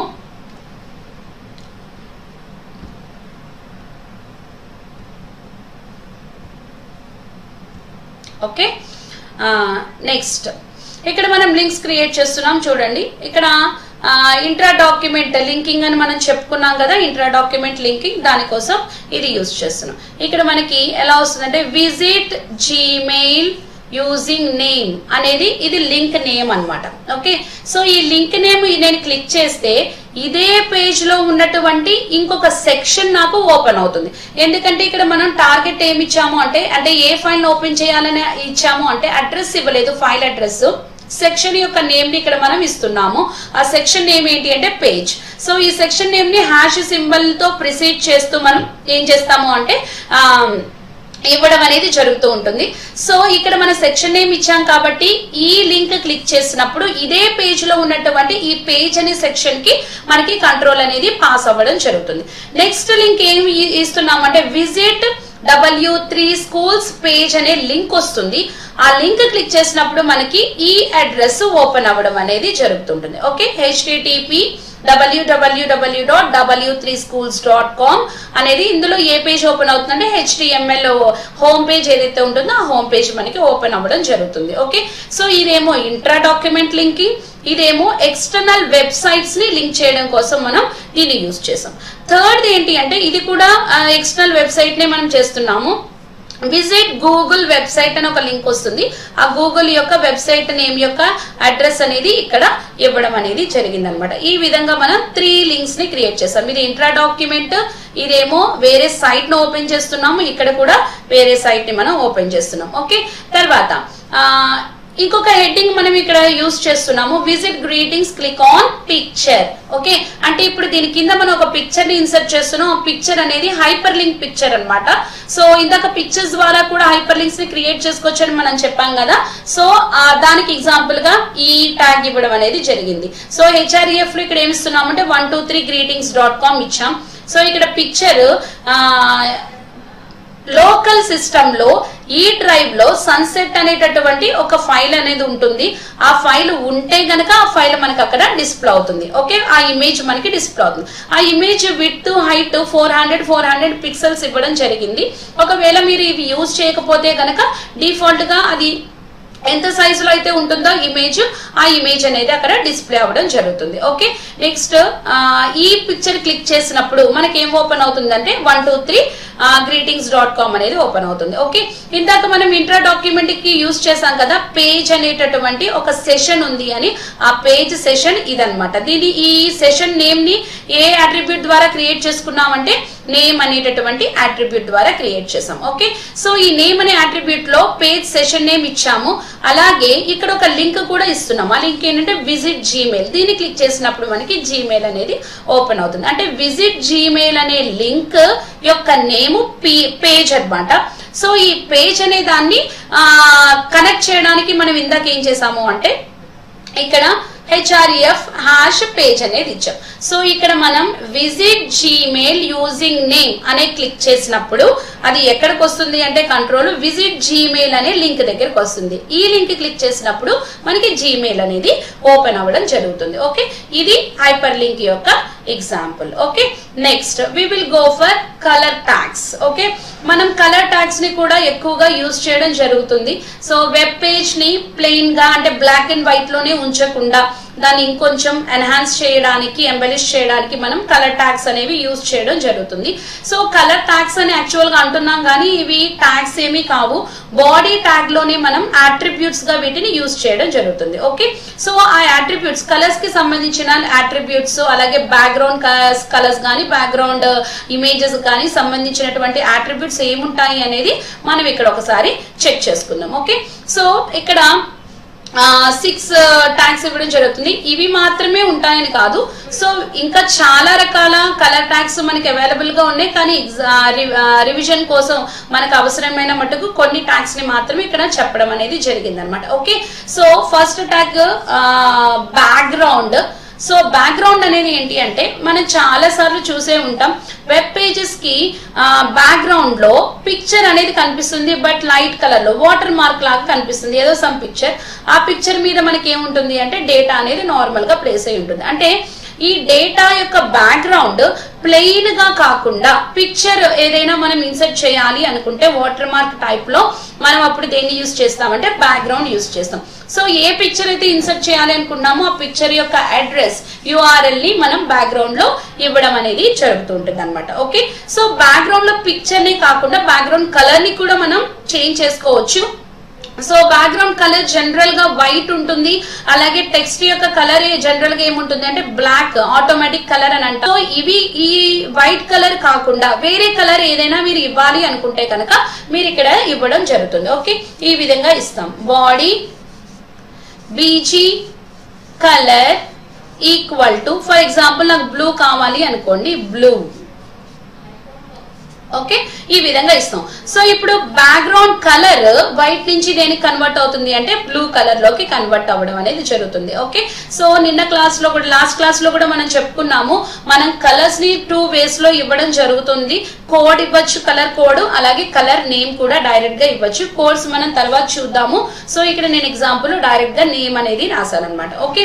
అలాగే టెక్స్ట్ కలర్ బ్లాక్ కలర్ ఉంటుంది అనుకున్నాము. సో ఎప్పుడు కూడా బ్యాక్గ్రౌండ్ కలర్కి రిలేటెడ్ టెక్స్ట్ కలర్ ఇస్తే మనకి చూడడానికి కూడా అది రీడబుల్గా ఉంటుంది అనమాట ఓకే? సో రీడబుల్గా ఉండడం కోసమే ఇవన్నీ కూడా మనం సెట్ చేసుకోవడం జరుగుతుంది. సో ఆ టెక్స్ట్కి మనం కలర్ మార్చుకోవాలి అంటే మనం దేన్ని యూస్ చేస్తున్నాం అంటే టెక్స్ట్ అనే కలర్ని యూస్ చేస్తున్నాం ఓకే? టెక్స్ట్ అనేటటువంటి అట్రిబ్యూట్ని వాడుతున్నాం okay? So body text equal to white text equal to white okay so నేను టెక్స్ట్ వైట్ కలర్లోకి మార్చాలనుకుంటున్నాను. బీజీ కలర్ బ్లూ ఇచ్చాను కాబట్టి టెక్స్ట్ కలర్ వైట్లోకి మార్చాలి అనుకుంటున్నాను. సో ఈ విధంగా మనం ఏం చేస్తామంటే టెక్స్ట్ కలర్ని మార్చేటటువంటి అవకాశం ఉంది. Okay next link V link A link okay? Link అనేది ఎందుకు లింక్ అనేది ఎందుకు యూస్ చేస్తున్నామంటే ఇందాక మనం హైపర్ లింక్స్ చెప్పుకున్నప్పుడు నేను చెప్పాను. హైపర్ లింక్స్ అనేవి డిఫాల్ట్గా ఏ కలర్లో ఉంటాయంటే బ్లూ కలర్లో ఉంటాయి. అలాగే వాటికి అండర్లైన్ అనేది కూడా ఉంటుంది. బ్లూ కలర్లో ఉంటాయి అలాగే అండర్లైన్ అనేది కూడా ఉంటుంది. బ్లూ కలర్ కాకుండా హైపర్ లింక్కి మీరు ఏదైనా స్పెసిఫిక్ కలర్ని అప్లై చేయాలి అని మీరు అనుకుంటే అప్పుడు మనం ఏం చేస్తాము అంటే లింక్లో కలర్ని ఇవ్వడం అనేది జరుగుతుంటుంది. ఓకే సో హైపర్ లింక్స్కి డిఫాల్ట్గా బ్లూ కలర్ ఉంటుంది. ఆ డిఫాల్ట్ కలర్ కాకుండా ఏదైనా పర్టికులర్ కలర్ని మీరు అప్లై చేయాలి అనుకుంటే మీరు లింక్ అనేది ఇస్తారనమాట ఓకే వి లింక్ అంటే అర్థం ఏంటి అంటే విజిటెడ్ లింక్ ఏ లింక్ అంటే అర్థం ఏంటి అంటే active link okay visited link అంటే అర్థం ఏంటి అంటే మనం ఒకసారి లింక్ క్లిక్ చేసిన తర్వాత మనం ఎక్కడో వేరే ఫైల్ ఓపెన్ ఓపెన్ అవుతాం. మళ్ళీ బ్యాక్ వచ్చినప్పుడు ఆ కలర్ బ్లూ కలర్ మీకు కనిపించదు సమ్ అదర్ కలర్ కనిపిస్తుంది. ఆ విజిటెడ్ లింక్ అంటే ఆల్రెడీ ఒకసారి మనం విజిట్ చేసాము అని తెలియడం కోసం లింక్ కలర్ అనేది చేంజ్ అవుతుంది. సో ఈ విజిటెడ్ లింక్ కలర్ని కూడా మీరు స్పెసిఫై చేసుకునే అవకాశం ఉంది. ఎలా స్పెసిఫై చేస్తామంటే వీ లింక్ ద్వారా. Okay next one active link active link అంటే మనం క్లిక్ చేసేటప్పుడు కూడా హైపర్ లింక్ యొక్క కలర్ని చేంజ్ చేసుకునేటటువంటి అవకాశం ఉంది. అలా మార్చుకోవాలి అనుకుంటే మీరు ఏ లింక్ అనేది యూజ్ చేస్తారు. ఓకే సో ఈ విధంగా మనం కలర్స్ని అప్లై చేసుకునే ఛాన్స్ ఉంది. బ్యాక్గ్రౌండ్ కలర్ మార్చుకోవాలి అంటే బీజీ కలర్ టెక్స్ట్ కలర్ మార్చుకోవాలి అంటే టెక్స్ట్ అలాగే లింక్ హైపర్ లింక్స్కి బ్లూ కలర్ ఉంటుంది ఆ కలర్ని చేంజ్ చేసుకోవడానికి లింక్ అనేది వాడతాము. అలాగే ఆల్రెడీ మనం విజిట్ చేసిన లింక్ని డిఫరెంట్ కలర్లో మనం చూసుకోవాలి అనుకుంటే కనుక వి లింక్లో కలర్ని మీరు యాడ్ చేసుకోవచ్చు. అలాగే క్లిక్ చేసేటప్పుడు కూడా అది ఏ లింక్లో ఉండాలి అని. అంటే ఆ, మనం బ్లూ కలర్లో ఉంది డిఫాల్ట్గా విజిట్ చేసిన తర్వాత ఇంకో కలర్లోకి వచ్చింది. సో విజిట్ చేసాము అంటే దాన్ని క్లిక్ చేసి విజిట్ చేస్తాం కదా అలా క్లిక్ చేసేటప్పుడు కూడా కలర్ని మనం చేంజ్ చేసుకునేటటువంటి ఛాన్స్ ఉందన్నమాట. ఓకే సో ఇలా డిఫరెంట్ ఆట్రిబ్యూట్స్ uh, ని యూస్ చేసుకొని మనం కలర్స్ని వెబ్ పేజ్లో టెక్స్ట్కి అలాగే బ్యాక్గ్రౌండ్స్కి అలాగే లింక్స్కి అప్లై చేసుకునేటటువంటి ఛాన్స్ అనేది ఉంది. ఓకే సో ఈ కలర్ కోడ్స్ అనేవి ఎలా ఉంటాయి? ఒక- కొన్ని చూద్దాం డిఫాల్ట్గా ఎలా ఉంటాయి అనేది కొన్ని రెగ్యులర్గా మనం యూజ్ చేసే కలర్స్ ఓకే మనం ఆల్రెడీ చెప్పుకున్నాం కలర్ కోడ్ అనేది ఏ సింబల్తో స్టార్ట్ అవుతుందంటే హ్యాష్ సింబల్ తర్వాత జీరోస్ గానీ ఎఫ్ గానీ కాంబినేషన్స్ గానీ ఉండే ఛాన్స్ ఉంది. అది కూడా ఎన్ని డిజిట్స్ ఉండాలి అంటే సిక్స్ డిజిట్స్ ఉండాలి అనుకున్నాం. జీరో ఆర్ ఎఫ్ కాంబినేషన్స్ తోనే ఉండాలి. ఓకే? ఇక్కడ కొన్ని మీకు ఇవ్వడం జరిగింది చూడండి. అన్ని ఎఫ్ ఉంటే సిక్స్ డిజిట్స్ ఎఫ్ ఉంటే కనుక వైట్ కలర్. అలాగే సిక్స్ డిజిట్స్ జీరో ఉంటే black colour. Okay? First two F ఉన్నప్పుడు రెడ్. మిడిల్ టూ ఎఫ్ ఉంటే గ్రీన్ అలాగే లాస్ట్ టూ ఎఫ్ ఉంటే బ్లూ కలర్ అలాగే ఫస్ట్ ఫోర్ ఇలా మీరు కాంబినేషన్స్తో కూడా డిఫరెంట్ కలర్స్ని మీరు ఓన్గా క్రియేట్ చేసుకోవచ్చు. సో లైక్ కాకపోతే ఏంటంటే ప్రతిదీ కూడా సిక్స్ డిజిట్స్ మాత్రమే ఉండాలి. ఓకే సో ఇవి జనరల్గా మనం యూస్ చేసే కలర్స్ కాబట్టి రెడ్ గ్రీన్ బ్లూ ఎల్లో అలాగే వైట్ బ్లాక్ అనేవి కామన్ కలర్స్ కాబట్టి వీటి వరకు మనం కోడ్స్ అనేది ఇవ్వడం జరిగింది అనమాట ఓకే నెక్స్ట్ ఇమేజెస్ని మనం ఎలా ఇంక్లూడ్ చేసుకోవాలి? ఓకే ఆల్రెడీ మనం క్లికబుల్ ఇమేజ్ వచ్చినప్పుడు ఇమేజ్ని ఇంక్లూడ్ uh, చేసుకోవడం చూసాము. సో ఇంకొంచెం డీటెయిల్గా ఇంకా ఎక్స్ట్రా అట్రిబ్యూట్స్తో మనం ఇమేజెస్ని ఎలా క్రియేట్ చేయాలి అనేది చూద్దాం. ఓకే సో ఇమేజెస్ని యాడ్ చేయడం కోసం వెబ్ పేజ్లో ఇమేజెస్ని యాడ్ చేయడం కోసం ఏదైనా పిక్చర్ ని మనం యాడ్ చేయాలి అనుకుంటే ఓకే సో పిక్చర్ని యాడ్ చేయాల్సిన అవసరం ఏముంది అనుకుంటే జస్ట్ టెక్స్ట్ మాత్రమే మన వెబ్ పేజ్లో ఉంది అనుకోండి అది మనకి రీడబుల్గా ఉండదు ఓకే సో ఇమేజెస్ గానీ లేకపోతే వీడియోస్ గానీ టేబుల్స్ గానీ ఇలా వేరే ఆబ్జెక్ట్స్ని అట్రాక్టివ్ ఆబ్జెక్ట్స్ని ఇంక్లూడ్ చేయడం ద్వారా వెబ్ పేజ్ని కూడా మనం అట్రాక్టివ్గా క్రియేట్ చేసుకునేటటువంటి ఛాన్స్ ఉంటుంది సో ఈ ఇమేజెస్ని ఎలా ఇన్సర్ట్ చేస్తామో హెచ్డిఎంఎల్ ప్రోగ్రామ్లో అనేది ఒకసారి చూద్దాం ఓకే ఇమేజ్ని ఇన్సర్ట్ చేయడానికి మనం మెయిన్గా యూజ్ చేసేటటువంటి ట్యాగ్ ఐఎంజి ఐఎంజి ఇమేజ్ అనే దాన్ని కొంచెం షార్ట్ ఫామ్లో రాస్తున్నారు అనమాట ఐఎంజి అనేటటువంటి ట్యాగ్ ఓకే సో ఈ ట్యాగ్లో మనకి డిఫరెంట్ అట్రిబ్యూట్స్ ఉన్నాయి.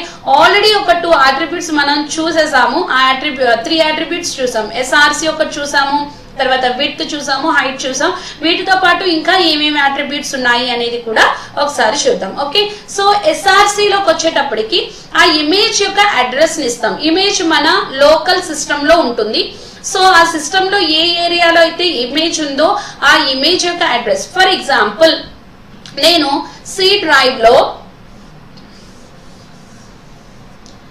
పిఎస్సి అనే ఫోల్డర్లో ఒక ఇమేజ్ని పెట్టుకున్నాను. ఈ ఐఎంజి వన్ అనేటటువంటి ఇమేజ్ పెట్టుకున్నాను. ఓకే సో ఇమేజెస్ కూడా డిఫరెంట్ ఎక్స్టెన్షన్స్ um, తో ఉంటాయి. జేపీజీ అని జిఫ్ అని ఓకే సిఎన్జి అని.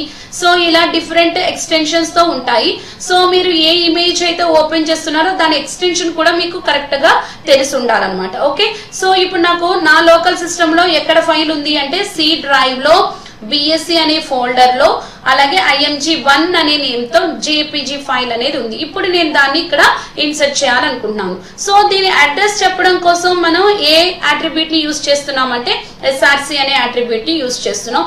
సో అడ్రస్ని మనం ఇవ్వాల్సి ఉంటుంది అనమాట C colon slash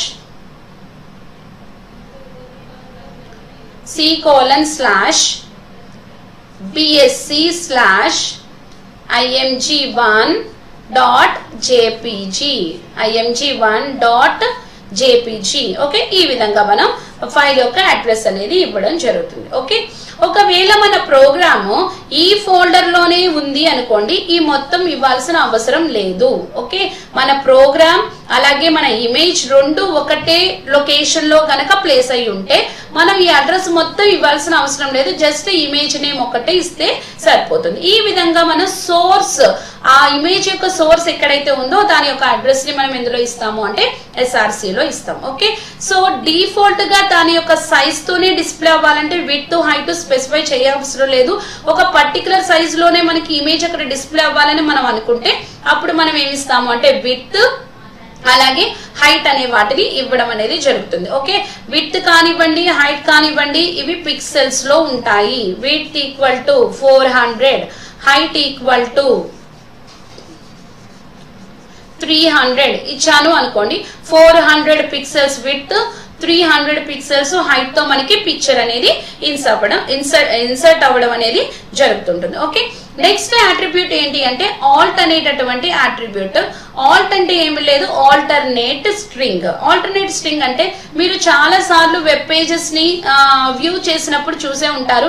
ఏదైనా మౌస్ పిక్చర్ మీద మనం మౌస్ పాయింటర్ని ప్లేస్ చేసామనుకోండి క్లిక్ చేయడం కాదు ప్లేస్ చేసాము అనుకోండి ఆ మౌస్ పాయింటర్కి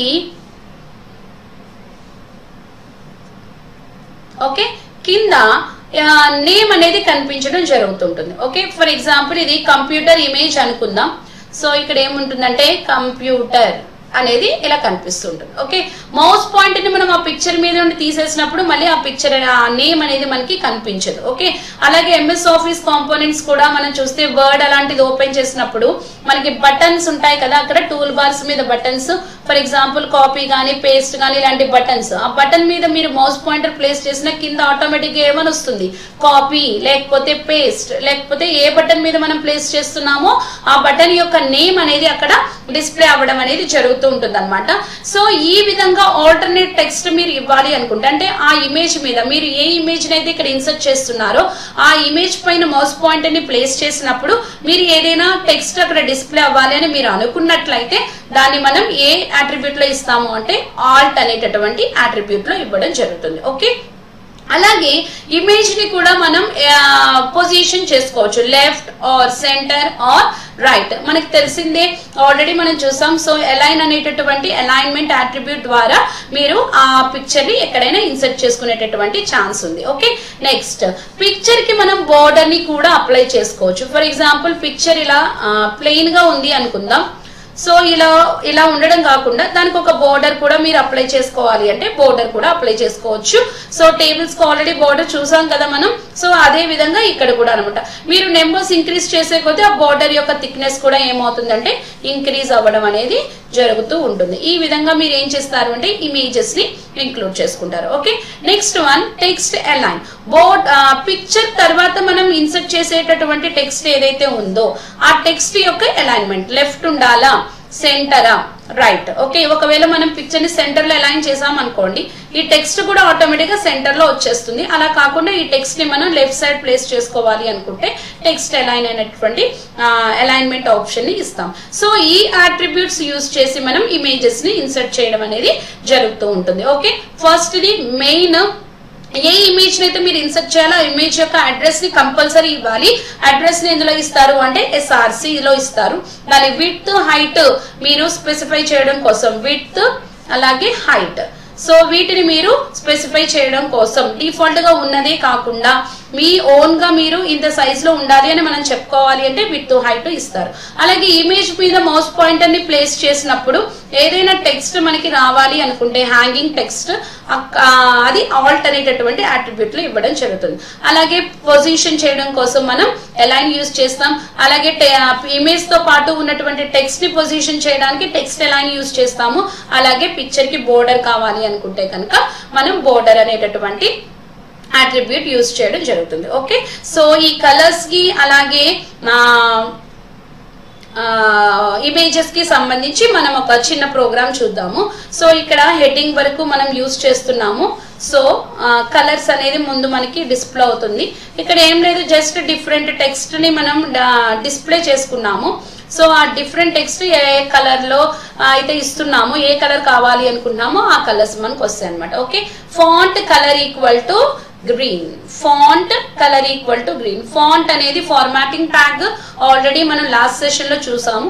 సో ఇక్కడ విప్రో అనే వర్డ్ ఇస్తున్నాను. సో విప్రో అనే వర్డ్ నాకు ఏ కలర్లో వస్తుందంటే గ్రీన్ అలాగే ఇక్కడ గూగుల్ అనే వర్డ్ ఎలా వస్తుంది అంటే పింక్ ఇన్ఫోసిస్ అనే వర్డ్ ఎల్లో కలర్లో ఇస్తున్నాం. ఆరకిల్ అనే వర్డ్ రెడ్లో ఇస్తున్నాం. అలాగే టెక్ మహీంద్ర అనే వర్డ్ బ్లూ అలాగే టీసీఎస్ అనేది వైలెట్ ఓకే? సో ఈ విధంగా మీరు కలర్స్ని టెక్స్ట్ పైన అప్లై చేసుకోవచ్చు ఓకే? అలాగే బ్యాక్గ్రౌండ్ కలర్స్ కావాలంటే బ్యాక్గ్రౌండ్ కలర్స్ అలాగే లింక్స్ కూడా కలర్స్ కావాలి అంటే మీరు లింక్స్ కూడా కలర్స్ని అప్లై చేసుకునేటటువంటి ఛాన్స్ ఉంది ఓకే? అలాగే ఒక ఇమేజ్ని ఎలా ఇన్సర్ట్ చేయాలి అనేది కూడా ఇక్కడ ఇచ్చారు. సో ఇమేజ్ ట్యాగ్ ఇది. Image tag.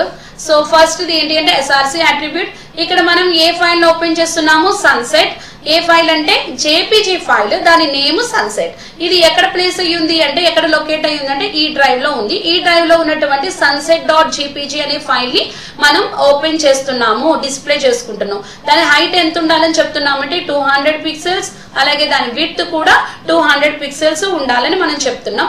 అలాగే అలైన్మెంట్ రైట్ అంటే మన వెబ్ పేజ్కి రైట్ సైడ్ మనకి పిక్చర్ అనేది వస్తుంది. అలాగే టెక్స్ట్ అలైన్మెంట్ దీని తర్వాత మనం ఇచ్చే టెక్స్ట్ ఇక్కడ టెక్స్ట్ ఇచ్చాను చూడండి. వెల్కమ్ టు అవర్ వెబ్సైట్ ఈ టెక్స్ట్ మనకి ఎక్కడ వస్తుంది అంటే సెంటర్ అలైన్మెంట్లో వస్తుంది అనమాట ఓకే ఈ విధంగా మనం పిక్చర్స్ని అలాగే కలర్స్ని మన వెబ్ పేజ్లో క్రియేట్ చేసుకునేటటువంటి ఇన్సర్ట్ చేసుకునేటటువంటి ఛాన్స్ అనేది ఉంది. ఓకే ఒకసారి మళ్ళీ మనం ఈ రోజు చెప్పుకున్న table hyper links colours and images tags ఏమున్నాయి అనేది ఒకసారి చూద్దాం. సో టేబుల్ ట్యాగ్స్కి సపోర్టివ్గా ఉన్న tags table TR TD TH టేబుల్ని create చేయడానికి టేబుల్ వాడుతున్నాం.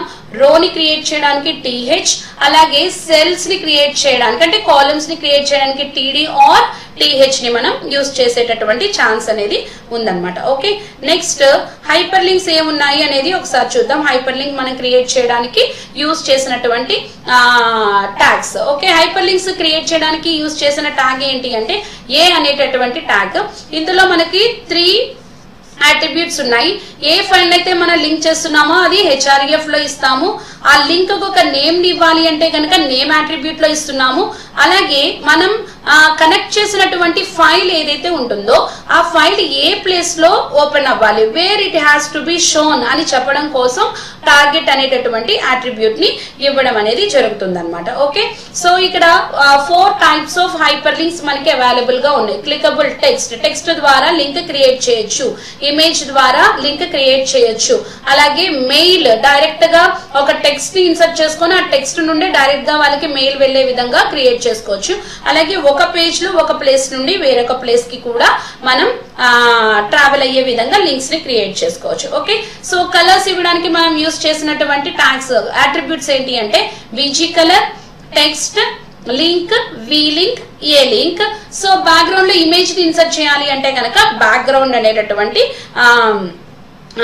అట్రిబ్యూట్ని యూస్ చేయడం జరుగుతుంది. ఓకే నెక్స్ట్ ఇమేజెస్ని క్రియేట్ చేయడానికి ఐఎంజీ అనేటటువంటి ట్యాగ్ని యూస్ చేసాం సో ఇందులో attributes SRC width height alt align border text align అనే దాన్ని మనం యూస్ చేస్తున్నాం. ఓకే